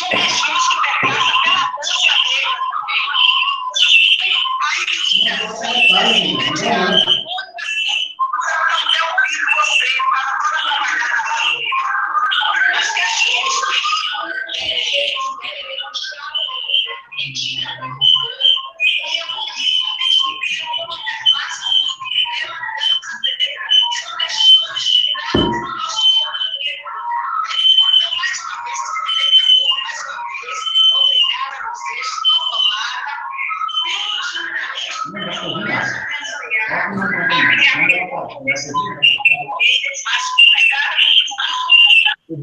Edileuza, baixa o volume do teu computador. Já foi. Valeu, valeu.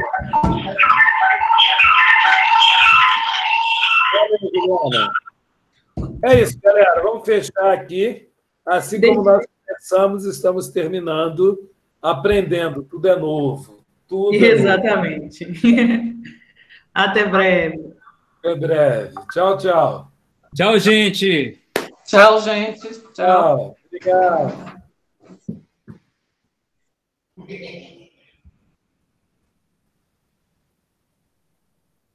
Tchau, Tiago. Tchau, galera. Tchau, Lico. Valeu, Gustavo.